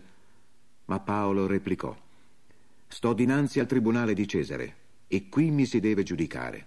Non ho fatto alcun torto ai giudei, come anche tu sai molto bene. Se dunque ho commesso qualche ingiustizia o qualche delitto che merita la morte, non ricuso di morire. Ma se non vi è nulla di ciò di cui essi mi accusano, nessuno può consegnarmi ad essi. Mi appello a Cesare. Allora Festo, dopo aver conferito con il suo consiglio, disse Hai appellato a Cesare. A Cesare andrai. Passati alcuni giorni, il re Agrippa e Berenice discesero a Cesarea e vennero a salutare Festo. E poiché vi si trattenevano alcuni giorni, Festo espose al re il caso di Paolo, dicendo C'è un uomo che è stato lasciato in prigione da Felice. Quando sono stato a Gerusalemme sono comparsi i sommi sacerdoti e gli anziani dei giudei, portando accuse contro di lui e chiedendo la sua condanna. Io risposi loro che non è costume dei romani di consegnare un uomo prima che l'accusato sia stato messo a confronto con gli accusatori e abbia avuto la possibilità di difendersi dalle accuse. Allora essi si radunarono qui e senza por tempo in mezzo l'indomani mi sedetti in tribunale e feci condurre quest'uomo. Messi alla sua presenza, gli accusatori non portarono nessuna accusa di alcuno di quei delitti che io potessi sospettare. Avevano con lui soltanto delle contestazioni su punti della loro religione e riguardo a un certo Gesù morto che Paolo asseriva essere vivo. Trovandomi imbarazzato davanti a una controversia come questa, gli chiesi se voleva andare a Gerusalemme e là essere giudicato riguardo a queste cose. Ma avendo Paolo interposto appello per essere riservato al giudizio di Augusto, comandai che fosse custodito in prigione, finché non possa inviarlo a Cesare. Agrippa disse a Festo, vorrei anch'io ascoltare quest'uomo. Domani, disse, lo ascolterai. Il giorno dopo, Agrippa e Berenice vennero con grande pompa e quando furono entrati nella sala delle udienze con i tribuni e i personaggi eminenti della città, Festo comandò di condurre Paolo. Allora Festo disse, Re Agrippa e voi tutti che siete qui presenti, voi vedete colui per il quale tutta la moltitudine dei giudei si è rivolta a me, tanto a Gerusalemme come qui, gridando che costui non deve più vivere. Ma io ho accertato che egli non ha fatto nulla che meriti la morte. Ma poiché egli stesso si è appellato ad Augusto, ho deciso di inviarglielo. Sul suo conto non ho nulla di preciso da scrivere all'imperatore. Perciò l'ho condotto di fronte a voi, e soprattutto di fronte a te, o re Agrippa, perché dopo questa interrogazione io abbia qualcosa da scrivere. Mi sembra infatti assurdo mandare un prigioniero senza indicare anche le accuse fatte a suo carico. Agrippa disse a Paolo, ti è accordata la parola per difenderti. Allora Paolo, stesa la mano, incominciò a parlare in sua difesa. Da tutte le accuse che mi sono rivolte dai giudei, io mi stimo fortunato, o re Agrippa, di potermi oggi difendere davanti a te. tanto più che tu conosci assai bene i costumi e le controversie proprie dei giudei. Perciò ti prego di ascoltarmi con longanimità.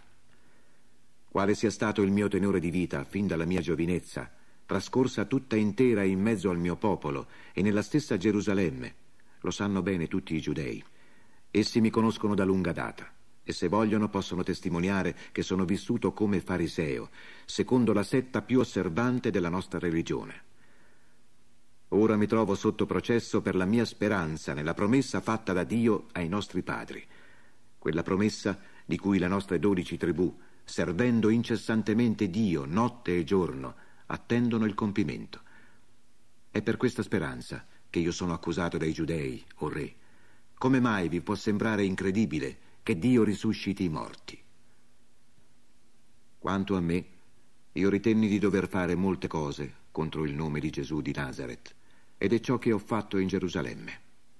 Molti dei santi li ho chiusi in carcere, con l'autorizzazione avuta dai sommi sacerdoti, e quando si trattava di ucciderli, io votavo contro di loro.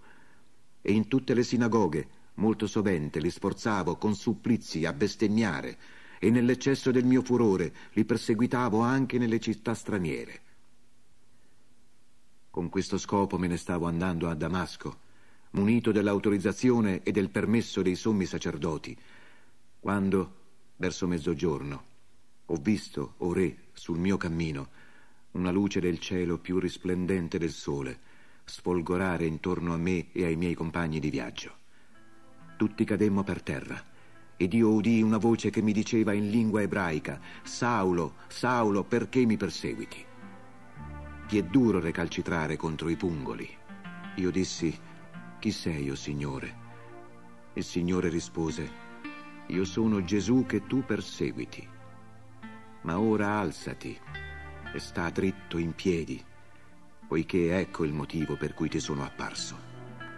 Per costituirti ministro e testimonio delle cose che tu hai veduto di me e di quelle che io ancora ti mostrerò.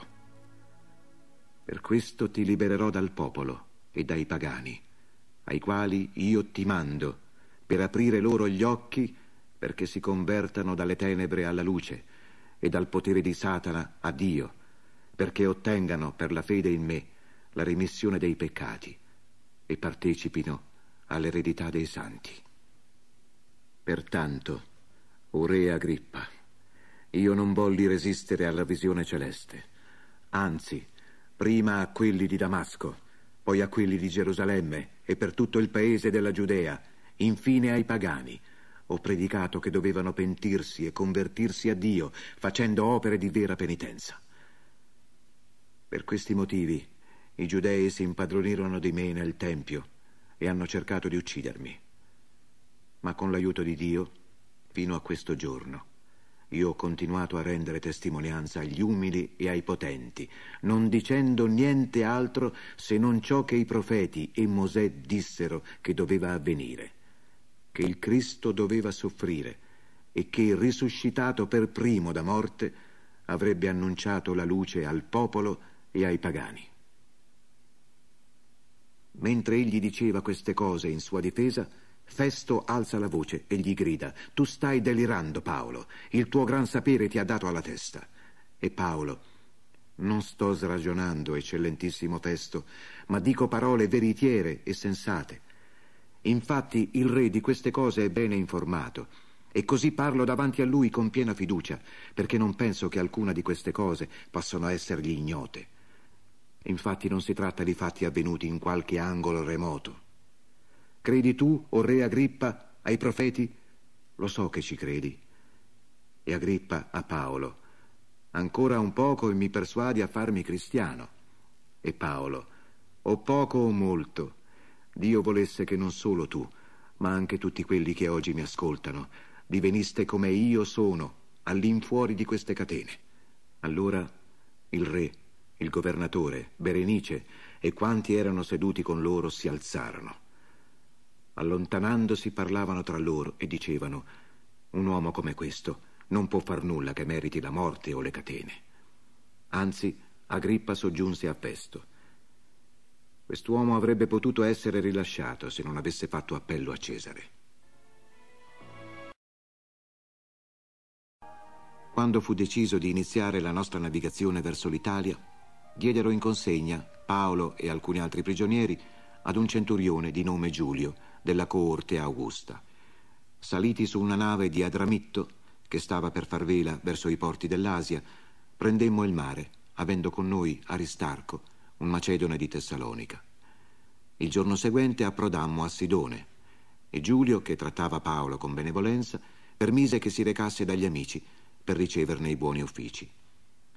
Salpati di là, facemmo vela sotto Cipro, poiché i venti erano contrari, e attraversato il mare di Cilicia e di Panfilia, giungemmo a Mira della Licia.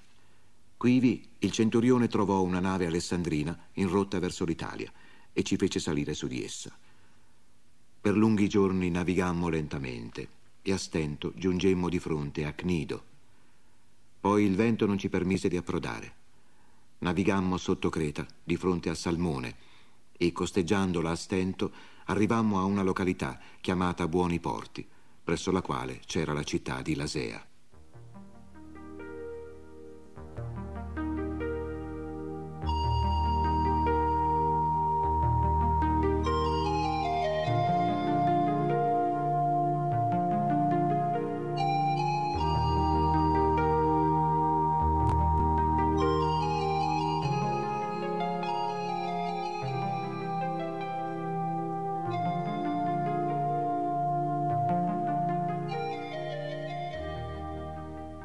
Essendo passato molto tempo ed essendo ormai mal sicura la navigazione, poiché era già trascorso anche il giorno del digiuno, Paolo li ammoniva dicendo Amici, vedo che il continuare la navigazione sarebbe temerario e potrebbe portare molto danno non solo per il carico e per la nave, ma anche per le nostre vite.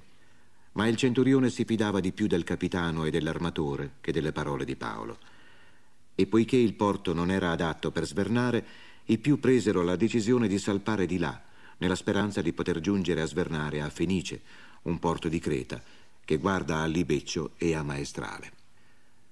Levatosi un vento leggero dal sud, ritennero di poter attuare il loro progetto e, levata l'ancora, si misero a costeggiare Creta. Ma dopo non molto si scatenò sull'isola un vento d'uragano chiamato Euroaquilone. La nave fu trascinata via non potendo resistere al vento, e ci lasciavamo portare alla deriva. Filando sotto un'isoletta chiamata Caudas, a stento riuscimmo a restare padroni della scialuppa.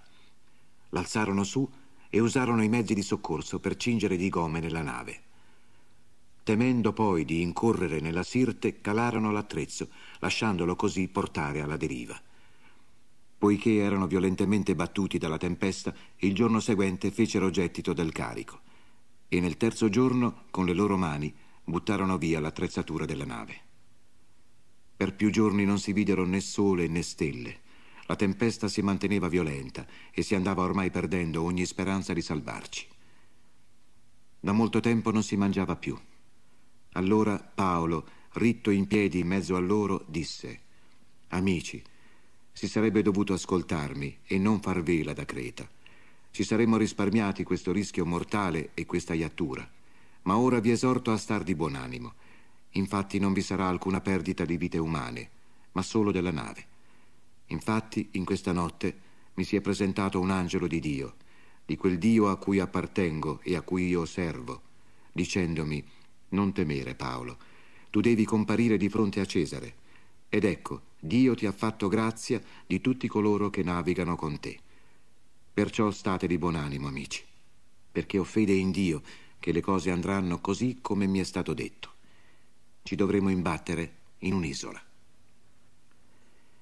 Essendo ormai la quattordicesima notte che eravamo sbattuti nell'Adriatico, verso la metà della notte i marinai ebbero l'impressione che si stesse avvicinando terra. Calato lo scandaglio, trovarono venti braccia di profondità. Temendo che andassimo a cadere contro delle scogliere, dalla prua calarono le quattro ancore e aspettavano ansiosi che si facesse presto giorno.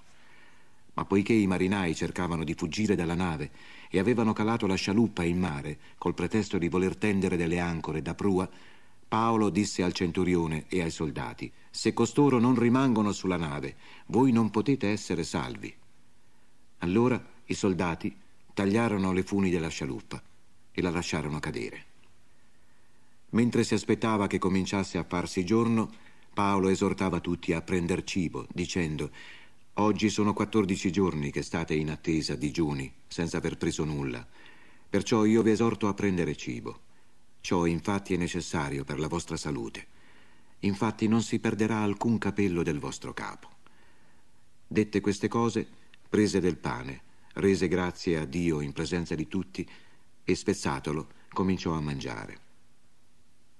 Allora tutti, fattisi coraggio, presero anch'essi del cibo. Eravamo in tutto nella nave 276 persone. Dopo aver mangiato a sazietà, alleggerirono la nave, gettando il frumento nel mare. Quando si fece giorno non riuscivano a riconoscere la terra, ma scorgevano un'insenatura con una spiaggia e là volevano, se fosse stato possibile, spingere la nave. Staccarono le ancore tutt'intorno e le lasciarono andare a mare, allentando nello stesso tempo gli ormeggi dei timoni e, alzato l'artimone al vento, tentavano di approdare alla spiaggia. Ma si imbatterono in un altifondo tra due correnti e fecero incagliare la nave. La prua, piantata nel fondo, rimaneva immobile e la poppa veniva sfasciata dalla violenza delle onde. I soldati presero la decisione di uccidere i prigionieri perché qualcuno non sfuggisse a nuoto, ma il centurione, volendo salvare Paolo, li impedì dall'attuare il loro proposito e comandò a quelli che erano in grado di nuotare di gettarsi per primi in mare e di raggiungere terra. Poi gli altri, chi su tavole, chi su qualche relitto della nave. E così tutti giunsero a terra incolumi. Scampati finalmente dal pericolo, venimmo a sapere che l'isola si chiamava Malta. Gli indigeni ci mostrarono una benevolenza non comune. Accesero un falò e ci raccolsero tutti intorno poiché era sopraggiunta la pioggia e faceva freddo. Paolo aveva raccolto una bracciata di legna e la stava buttando nel fuoco, quando una vipera, uscita fuori per il calore, gli si attaccò alla mano. Gli indigeni, come videro l'animale pendere dalla sua mano, si misero a dirsi l'un l'altro. Certamente è un assassino quest'uomo, poiché, essendosi salvato dal mare, la vendetta divina non gli ha permesso di sopravvivere. Ma egli scosse la bestia sul fuoco e non ne risentì alcun male.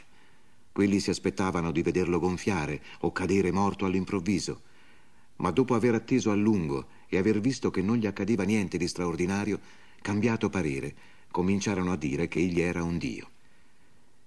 In quei dintorni aveva i suoi poderi il primo dell'isola, di nome Publio. Egli ci accolse e ci ospitò cordialmente per tre giorni. Ora il padre di Publio giaceva a letto con accessi di febbre e dissenteria. Paolo andò a visitarlo e dopo aver pregato gli impose le mani e lo guarì. In seguito a questo fatto anche gli altri dell'isola che avevano delle malattie incominciarono a venire da lui e venivano guariti. Essi ci colmarono di onori e quando salpammo ci provvidero del necessario.